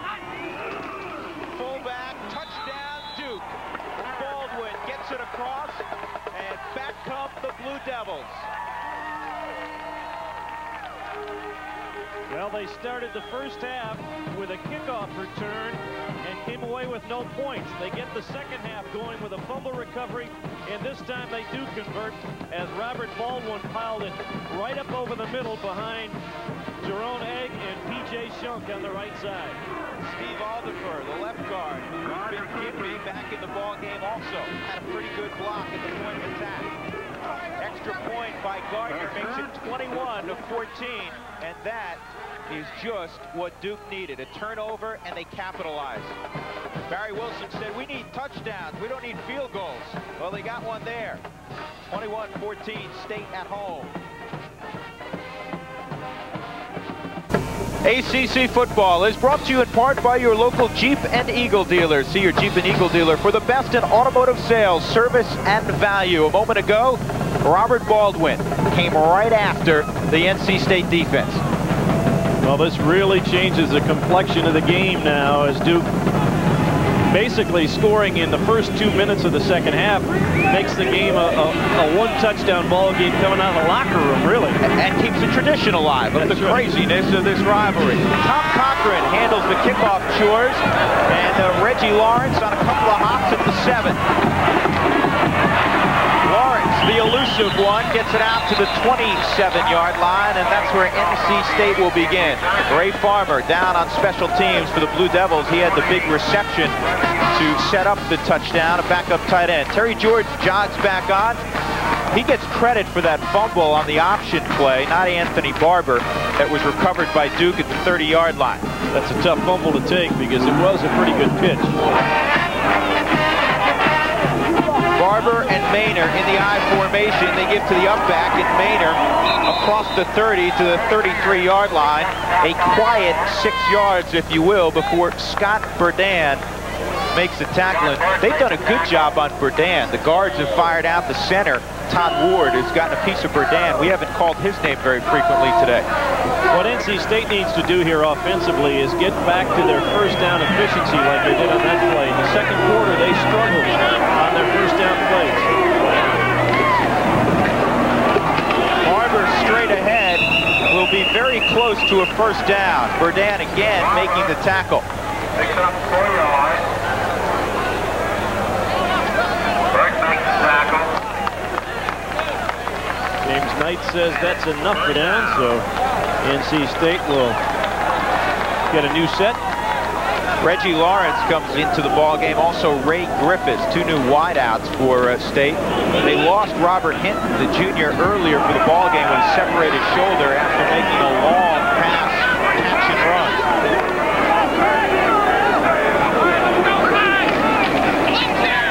Here's option. Here's Barber.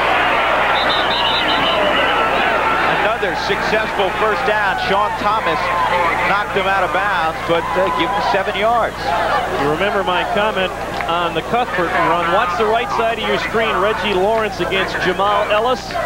Get a good block on the per perimeter by your wide receiver. You're going to get some good yardage. I believe he uh, gets credit for one of those pancakes. That's right. Or decleater.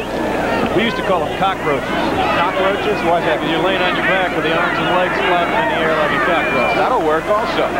11.37 to go here in the third. Maynard, big opening. First down, 49-yard line of Duke. Derek Jackson makes the tackle, but the strong safety does it after a solid advance by Maynard, the senior from Rinion, Georgia. You just have to believe that Dick Sheridan and his offensive coaches got in the faces of that offensive unit when they were on the sidelines when Duke got back into the ball game and they said, gentlemen, we're going to run the ball and we're going to run the ball right down the field. So far it has worked. Jordan swinging out of the backfield, Barber. Catch on the afternoon for Anthony Barber. He hasn't really gotten loose on a run yet, but he has a 20-yard touchdown from Terry Jordan. Warren Scoville is down. He was trying to put pressure on Terry Jordan. Looked like a knee or an ankle for the Duke defensive tackle. Barber with that spinning and the balance. He bounced right off of the tackle try of Jamal Ellis. Yeah, that's one of the things that is so impressive about Barber. We saw him have a big day last week against Virginia and obviously having a terrific year as they work on Scoville. He makes not only people miss, but he bounces off so many would-be tacklers. He's very strong. Well, he has got that low center of gravity at 5'9". They list him at 175. He might go even a little more than that, and that's a well put together 175, 180 pounds. You can see 93 yards and total offense on the afternoon for Anthony is he uh, went over a thousand yards earlier in the ball game for the season.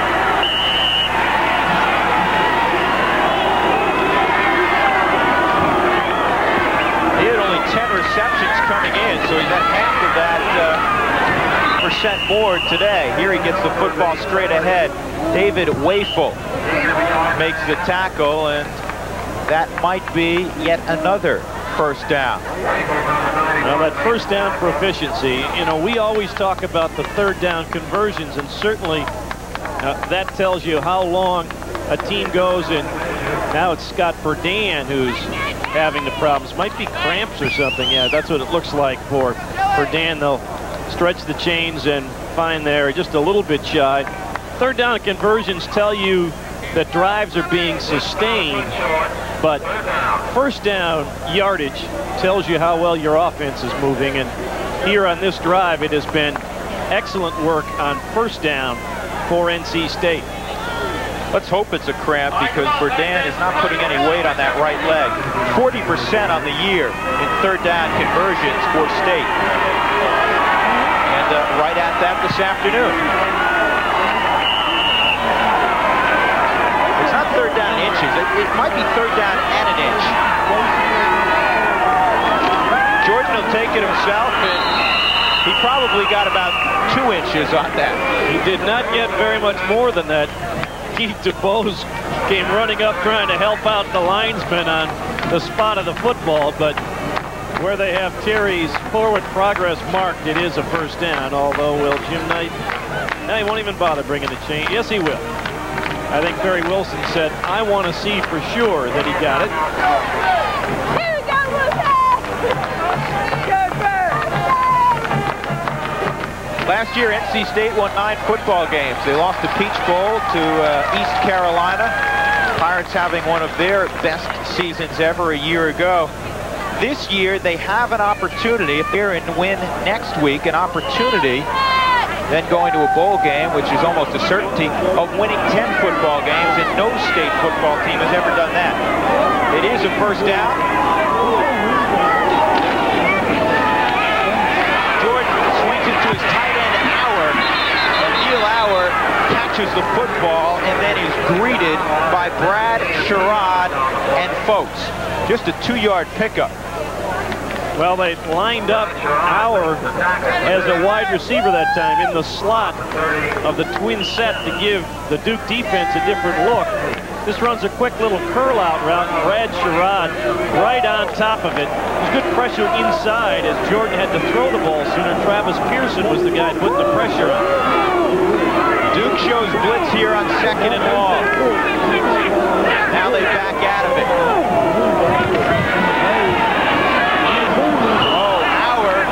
might have heard footsteps, or he might have tried to turn it upfield before he had the football. Well, we see NC State many times when the opposition gets down inside their 40, really jump around with a lot of different looks to try and make that quarterback change his play call at the line of scrimmage and maybe go to something he is not as comfortable with, and that's what he did there, and State now has a third and long This is the 10th play of the drive. They go option, and Mainor will not get near the first down.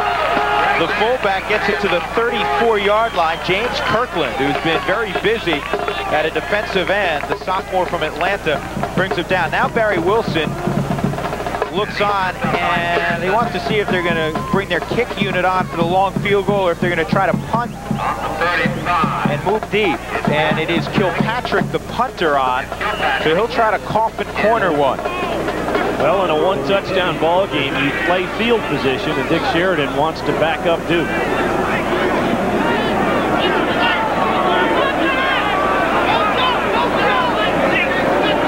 Duke yelling uh, to check fake also. Kilpatrick kicks it very high. Outstanding punt. This one will be down at the 10-yard line. Just a 25-yard punt, but that's what they were looking for. Sean McGuire was down on specials to down at 8.28 left third quarter, 21 to 14. NC State leading. We take a timeout for a local break. 21-14, Carter Finley Stadium in Raleigh for pleasant places to take in a football game, and they've begun a drive not only to add on to Carter Finley Stadium, make it seat 65,000 off behind uh, that facility there by the tents. They also plan on building a new 22,000 seat basketball arena. Be a marvelous complex. It's in a wooded area. It's really a beautiful place. And right now, the sea of red here at Carter Finley. A bit concerned. Their team leads by seven, but the Duke has some momentum. They have the football at their own 10. Got it complete.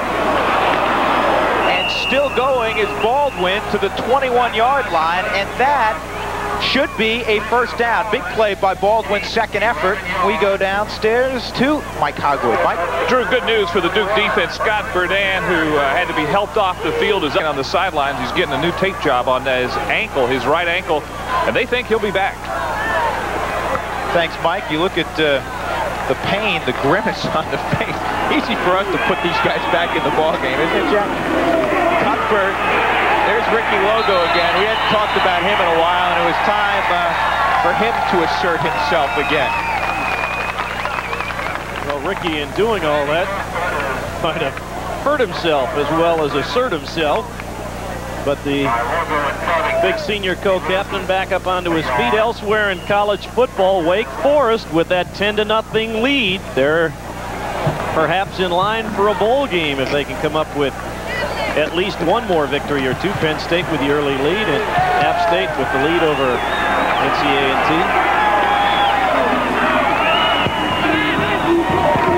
Second down, call it 11. Fisher trouble, sacked at the fifth line. Third sack of the ball game. John Akins gets it. 34th sack of the year. 11 more than all of last year. Well, Logos had a great year. Reeves has had a great year. John Akins has been battling shoulder problems much of the season. Just a good power rush that time by the junior. You know, a lot of times when we talk about defensive fronts, it's very often meant to occupy people so the linebackers make all the tackles. Not only do these uh, front three occupy people, they make a lot of plays. Third down at 16 for Fisher and the Blue Devils. Intercepted. 36 Covington with the football. Touchdown, NC State. How about that defense? Second week with two defensive scores under pressure from John Akins. Spence Fisher threw it off balance, nettled, and 27 yards later, it's an NC State touchdown. Look how he throws this off his back foot. Off target at the end. Clark Covington is right there, cruises in untouched. What a remarkable defense. What a remarkable defense. What a remarkable stat you just uh, talked about.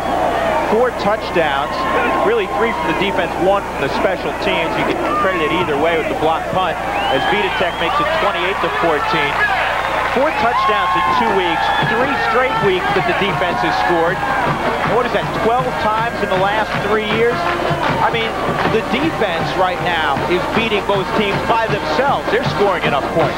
And you can see in that end zone replay as John Akins bears down on Spence Fisher. Watch how Fisher is not set when he throws this ball.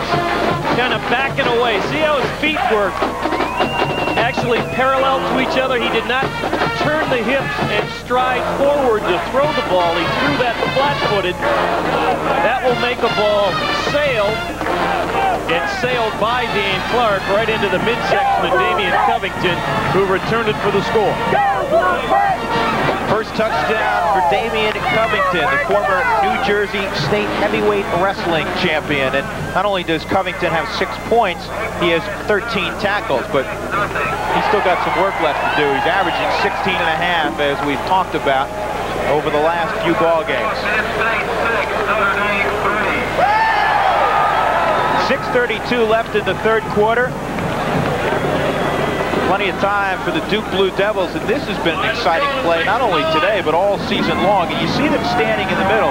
Jack, I guess they're doing that so NC can't figure out which way Breedlove will go. That's the man they like to see handle the football, and Six Eye is glancing down there right now. He's going to hit the uh, the chip shot, the sandwich kickoff again, I got to believe. Try and send it high and short at about the 25. You called it. That's exactly what we have, right at the 24-yard line. And out to the 33 goes Gavin Gray. Second time he's fielded a kick this afternoon. It's interesting. You're almost saying we'll give you to the 30 or 35 because we don't want you to run it past midfield. They've done it twice already today. Next Saturday, check your local listings. Jack and I, Mike, will all be in Durham as Duke hosts North Carolina. Those two teams, two schools always get after one another. And South Carolina travels to Death Valley to take on the Tigers of Clemson. Again, check your local listings. New quarterback, Steve Prince, the senior. And he hands off to Randy. Randy will get about two yards up the middle. And that is all. Prince is a 6'3", 195-pound senior from Roscoe, Illinois, and he has played quite a bit this year, as you can tell. Been alternating with Spence Fisher. They'll try to light a spark under that Duke attack right now. I didn't think Fisher played all that badly. He made some poor decisions when he was under pressure, Jack. Well, that's the toughest thing for an inexperienced quarterback is the decisions when you're getting heat. They go on a hitch pass, and that pass is low to Stanley Dorsey, and he couldn't field it. Fisher's numbers, 15 of 24, 174 yards and a touchdown.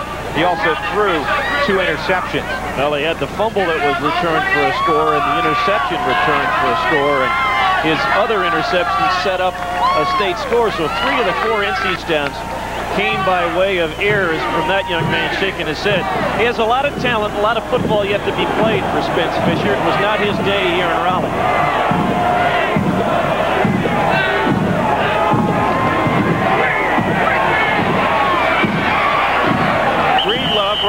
post corner, and it goes over his head, Ricky Turner, over the top coverage, the free safety, and the crowd, again, comes to their feet and applauds that state defense. Now you've got some very rabid fans here in Raleigh for this Wolfpack team, and they've really taken to heart the efforts of the defensive unit this season. Liddell George back deep to receive the punt of Tim Davis. George, very dangerous, 73 yards this year. He went for a touchdown on one punt return from his 22 to his 27. thought there was a little extra at the end of the play, but no flags. 28-14 with 5.29 left in the third quarter. State in control. Drew Goodman, Jack Corrigan, Mike Hogewood. NC State leading 28 to 14 on our ACC of the week with 5.29 left in the third. The man in the middle next to a 33, there he is, 17, Terry George. Dale Strom, the defensive coordinator for Duke, says, I like him a lot. He's a linebacker dressed up as a quarterback. What do you think he means by that, Jack? He just means he is one gutsy, I'll do whatever it takes to win kind of player. He'll take a blow, he'll give a blow when he has to.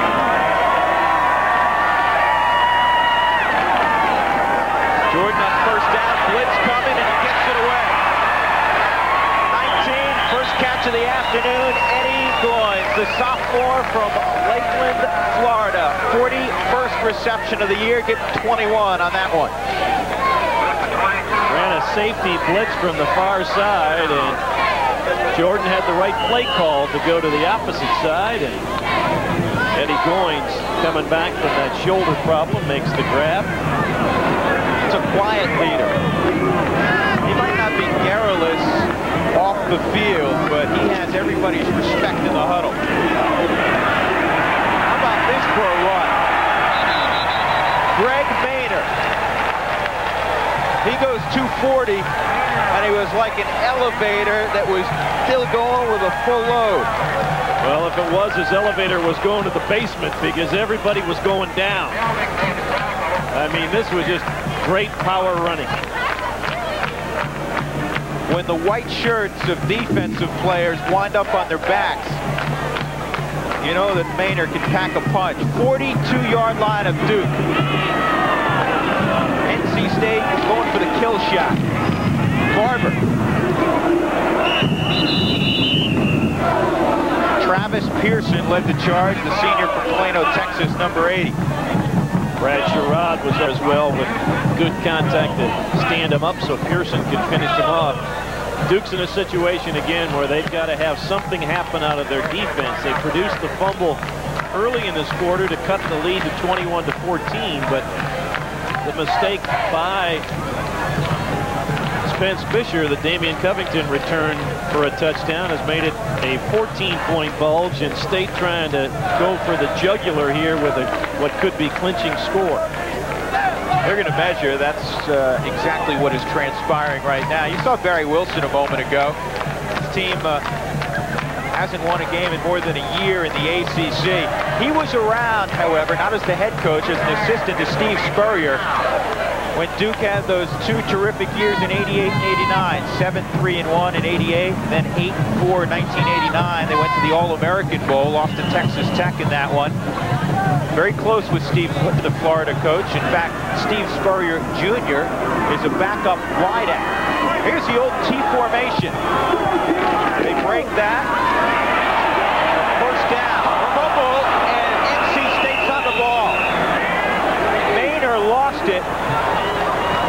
But somebody in red covered it up at the 35-yard line. Chris Hennerode. Chris Hennerode, a redshirt freshman from Florida. Playing at left guard for Sean Johnson. Maynor coughing up the football for the second time as Keith DeBose stripped it away, but Chris Hennerode, fortunately for the Wolfpack, was there to cover it.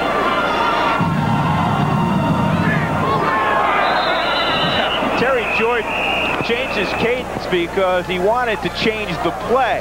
Neil Auer didn't realize that. was already uh, reading down on a linebacker. Well, no, see, all Neil was doing there, Drew, is ear Terry. So he said, maybe if I go to the other side of the line, I'll be able to hear what he's saying. Is that what was happening? Yeah, I didn't realize that. False start foul. Offense. Neil said, I can't hear you. So he just said, let me see if I can hear it better on the other side. Boy, that's nothing more frustrating or embarrassing for a football player than, than when you make that kind of mistake where everybody in the stadium knows you did wrong. And it's kind of a strange feeling because all of a sudden you're the only one moving and everybody else is kind of standing still looking at you. Blitz coming from the corner. Jordan under pressure and he's hit. But his arm was moving forward. So it'll be an incompletion. Derek Jackson, the strong safety, was blitzing on the play. Good call by Dale Strom to send the ship. He had both safeties coming, Jackson and Edwards. It's a risk you take to send both safeties, but it paid off the interception. Jordan banged up a little bit trying to make sure he's all right as State goes now to their pass look with the tailback now being Aubrey Shaw. They need the 25-yard line. Shaw has the football. Third catch. He stopped at the 33-yard line, so he'll be well short of where they needed to be. Daryl Spells, outside linebacker, a chemistry major, senior from Richwood, Texas, number 45, made the tackle. Well, it's it's be, it's tweener. Tweener time. Yeah, that's right. tweener time, so they'll go for it on fourth down. No, I'm sorry. You know, I'm a down ahead of everybody. Third down. Forgive me, folks. Third down and eight.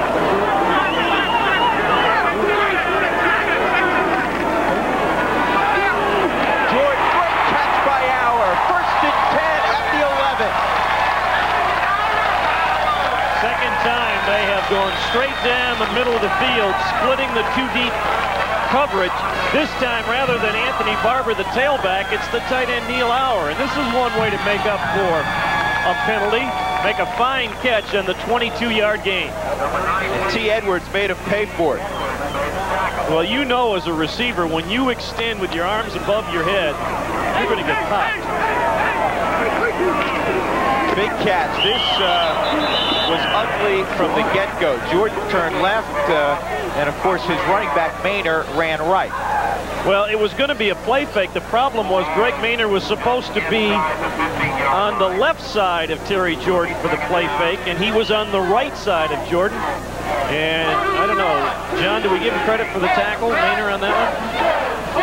John Matt here, statistician, says no.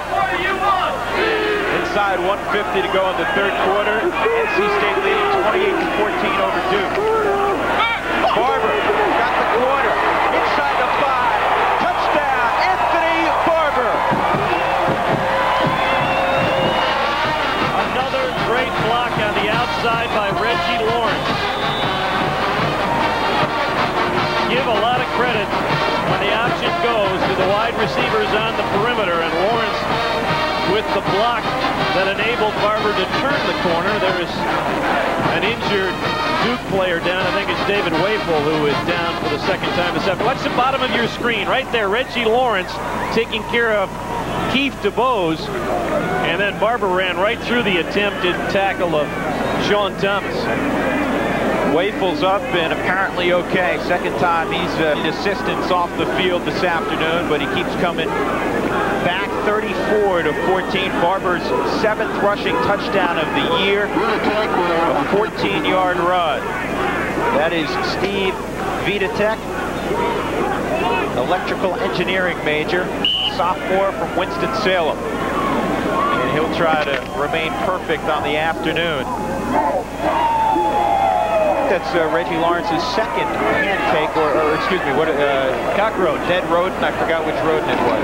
Cockroach the afternoon. Whistles uh, will blow this one dead, so they'll probably have to line up and do it again.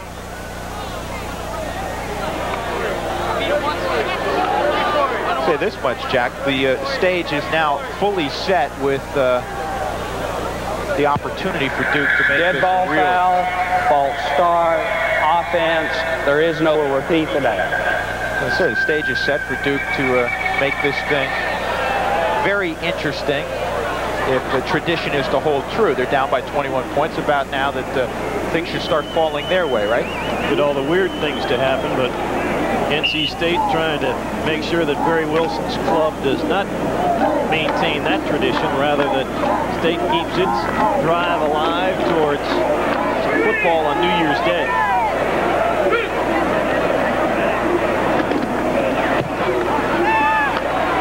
Videtich. Five extra yards. Do not bother him. And it's 35 to 14 with 140 left in the third quarter. Take another look at that uh, touchdown run by Anthony Barber. See if we can watch that block, Jack, that you pointed out by Reggie Lawrence. On the right side of your screen, right there is where Lawrence took down. The Barber ran right through Sean Thomas. If you get down in that part of the field, you hate to tell a safety because he's the last line of defense, if you will, to not be conservative. But Thomas's hesitation enabled Barber to see the space to the corner and a little juke, and then he's just going to outrun him. Sometimes you get down deep inside your own territory. A guy turns the corner, you're a safety man. You run full tilt and hope you can get a piece of it. As soon as you wait, you've created the scene. Barber with a touchdown rushing today and also a touchdown receiving. He has five catches, 46 yards.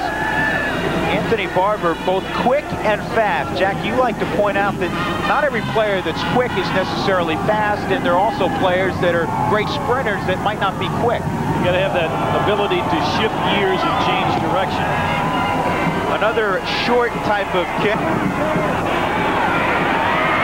It's Gallman again. And he is uh, in the open field again. Gallman still going, stumbles, and loses the football.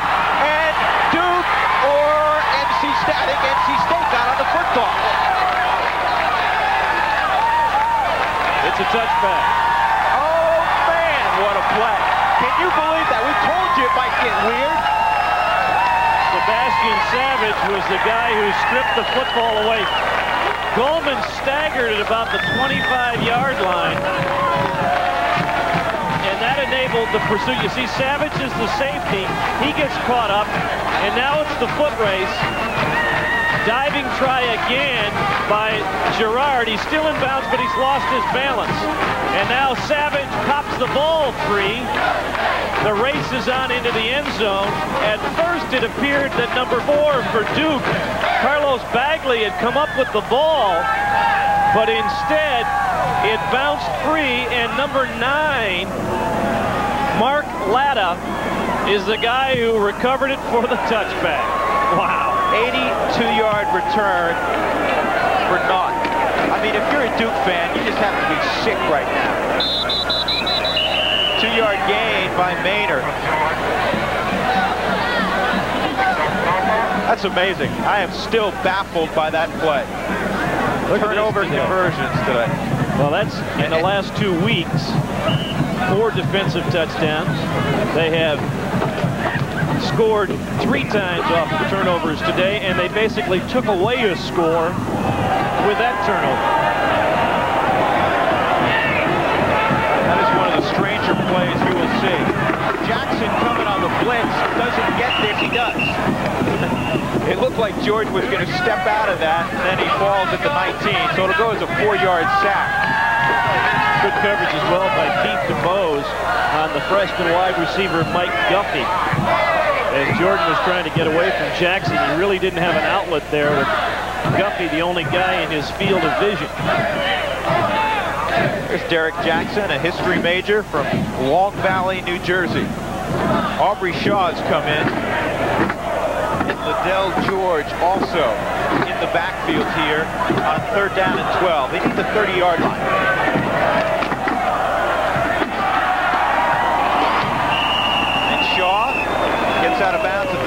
26, so it'll be fourth down, and we'll see the NC State punt team.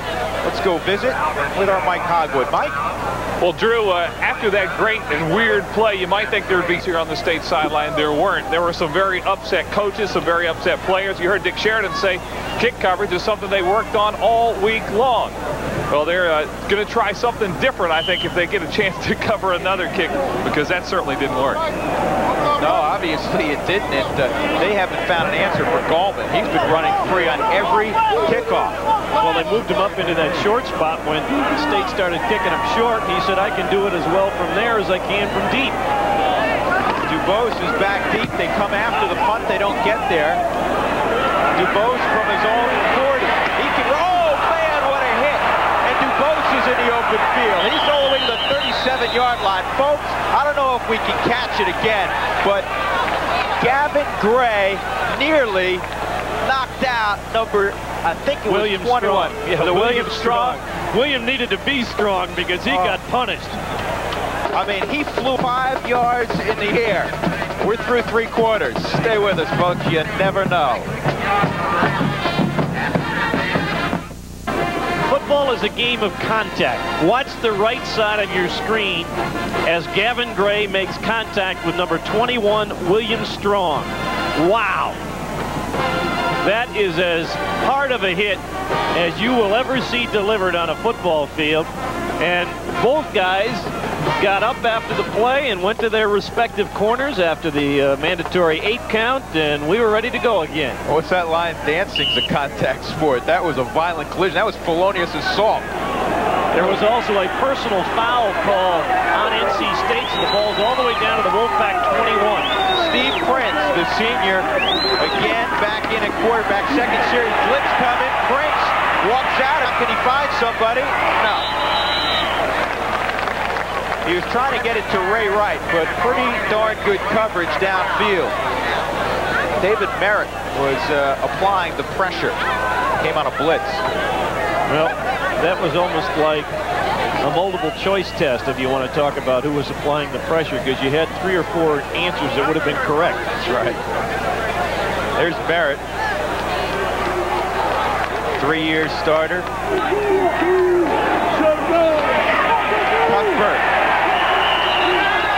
He'll lose a yard. Carl Reeves.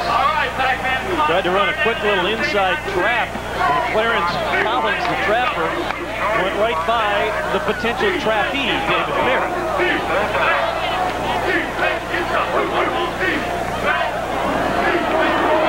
Magic line, the beginning of the red zone, and all Duke has gone backwards a yard. It's third down and 11.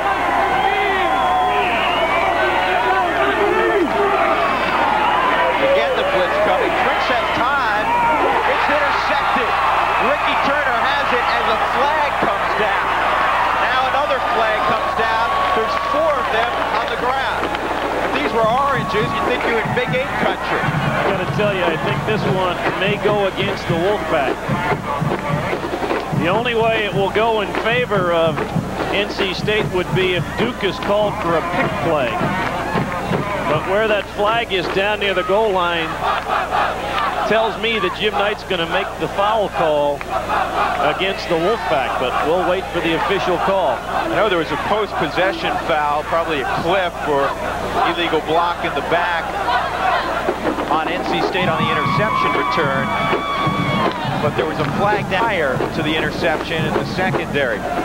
Well, the NC State defense of unit is staying out there, so is the Duke We have two live ball fouls, both against the defense. The first is holding prior to the change of possession. The second is a block below the waist after the change of possession. The first foul will be accepted. It'll be a first down for the offense. They run a crossing route. Watch the upper left-hand side of your screen. Right there, you could see Sebastian Savage had a hold of Brad Breedlove as he tried to turn back outside. And the back judge saw it, threw the flag, and it negated the Ricky Turner interception, which would have been his second of the afternoon. Instead, it's a first and 10 inside the state 12-yard line.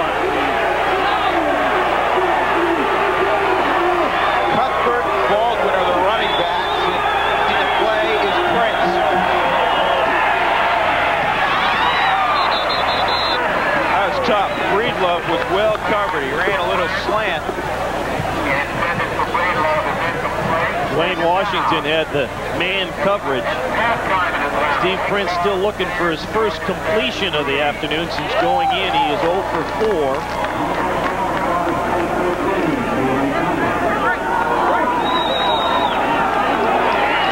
Two receivers go to the top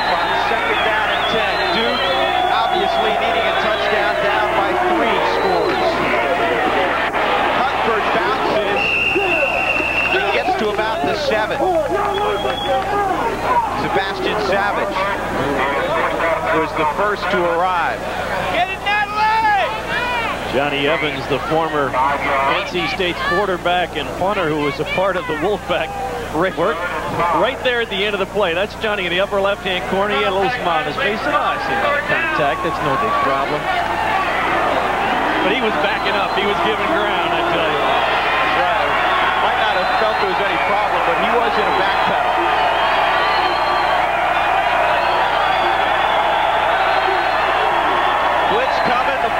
House is coming. Prince end zone. It's picked off. Mike Reeds with the football. Can he outrun the quarterback? No. Steve Prince threw the pick, and eventually he made the tackle. Folks, Mike Reeds, one of the better strong safeties in college football. And NC State defense is like the umpire from Star Wars, and there's Darth Vader right there, number three, Mike Reed. I tell you what, if I was thinking of secondary together, this guy would be one of my first choices. A 210-pound safety who can play man coverage as good as any cornerback in the country. I don't know if he would have scored even if Prince didn't get there. He was running, the tank was running near empty at that point. Great play, however, by that man. This game summary brought to you by Schlitz Malt Liquor Genuine Draft. Five Duke turnovers, a couple of defensive touchdowns for NC State. Anthony Barber having a big day, not only running the football, but also swinging out of the backfield. Same old story for the NC State defense.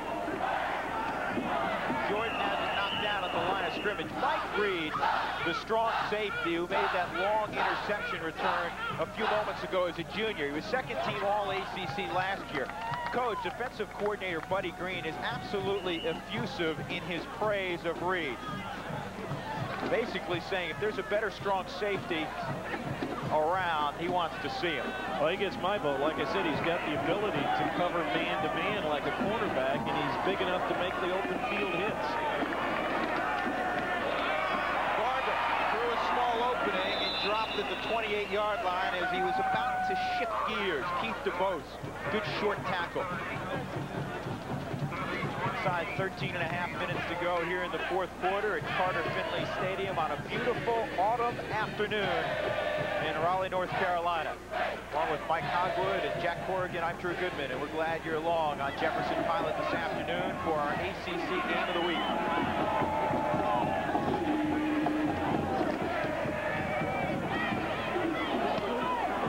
Jordan has Lawrence, and Lawrence is down at the 20-yard line. First catch of the afternoon for the senior from Camden, New Jersey, but we talked about his blocking today quite a bit. Well, keeps the drive alive. Thought perhaps we might see Jeff Bender get some time here, but Terry Jordan winding up his state career with one more game yet to play here at Carter Finley next week against the resurgent Demon Deacons of Wake Forest. We're trying to update you on their ball game against Georgia Tech here in the fourth quarter. They have a shot at going to the Independence Bowl if they keep winning. Oh, big hit and a sack. 45, Darrell Spells.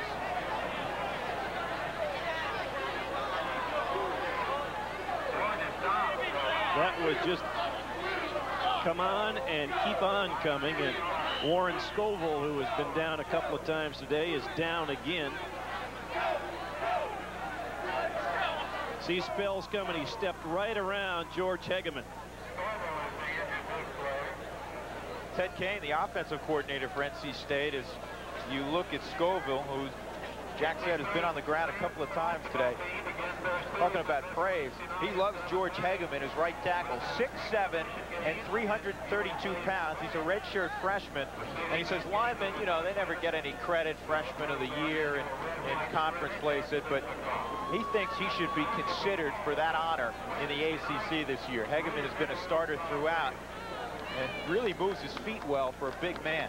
It does a pretty good job of pass protecting. That's what was unusual about that time as Spells was able to put the move around him just to the right edge of your screen as you see where Scoville got his leg caught underneath him and he had a problem with that right knee earlier in the game and needing a little assistance so he'll go off and Mike Stallmeyer will back into the ball game or at least we anticipate that happening. Is the backup we were mentioning the Demon Deacons at the half, leading down in Atlanta over the Ramblin' Wreck, 10 to 3. What a story that'd be for uh, Coach Dooley to go out and end up going to a bowl game. What are they going, six in a row now, Jack? Well, they're trying to make it six in a row and go to seven and three on the year.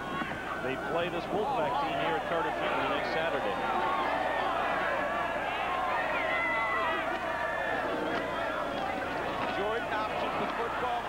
get to the 20, and that is all. 38, P.J. Melnick made a good tackle there. Now, the important thing for NC State right here is that they're keeping the ball in bounds and trying to wind that clock down. 11.40 to play, and Dick Sheridan tries to guide his team to their eighth win of the season trips go to the top. Aubrey Shaw back in the lineup, and now Shaw departs the backfield.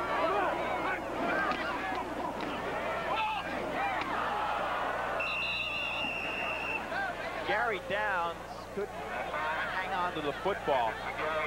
13 is the kicker coming into the ball game. As Jordan goes out, we'll see Steve Videtich. And he'll attempt one from 37 yards. They'd want the points, but they'd almost be better missing it to avoid another kickoff. You're right. You might lose four points in that transition.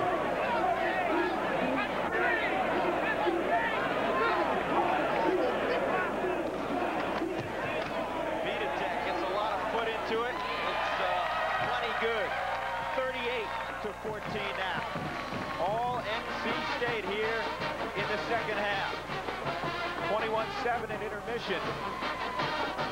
Duke got a quick score coming out of the blocks after a turnover, but since then, NC State has had plenty of answers.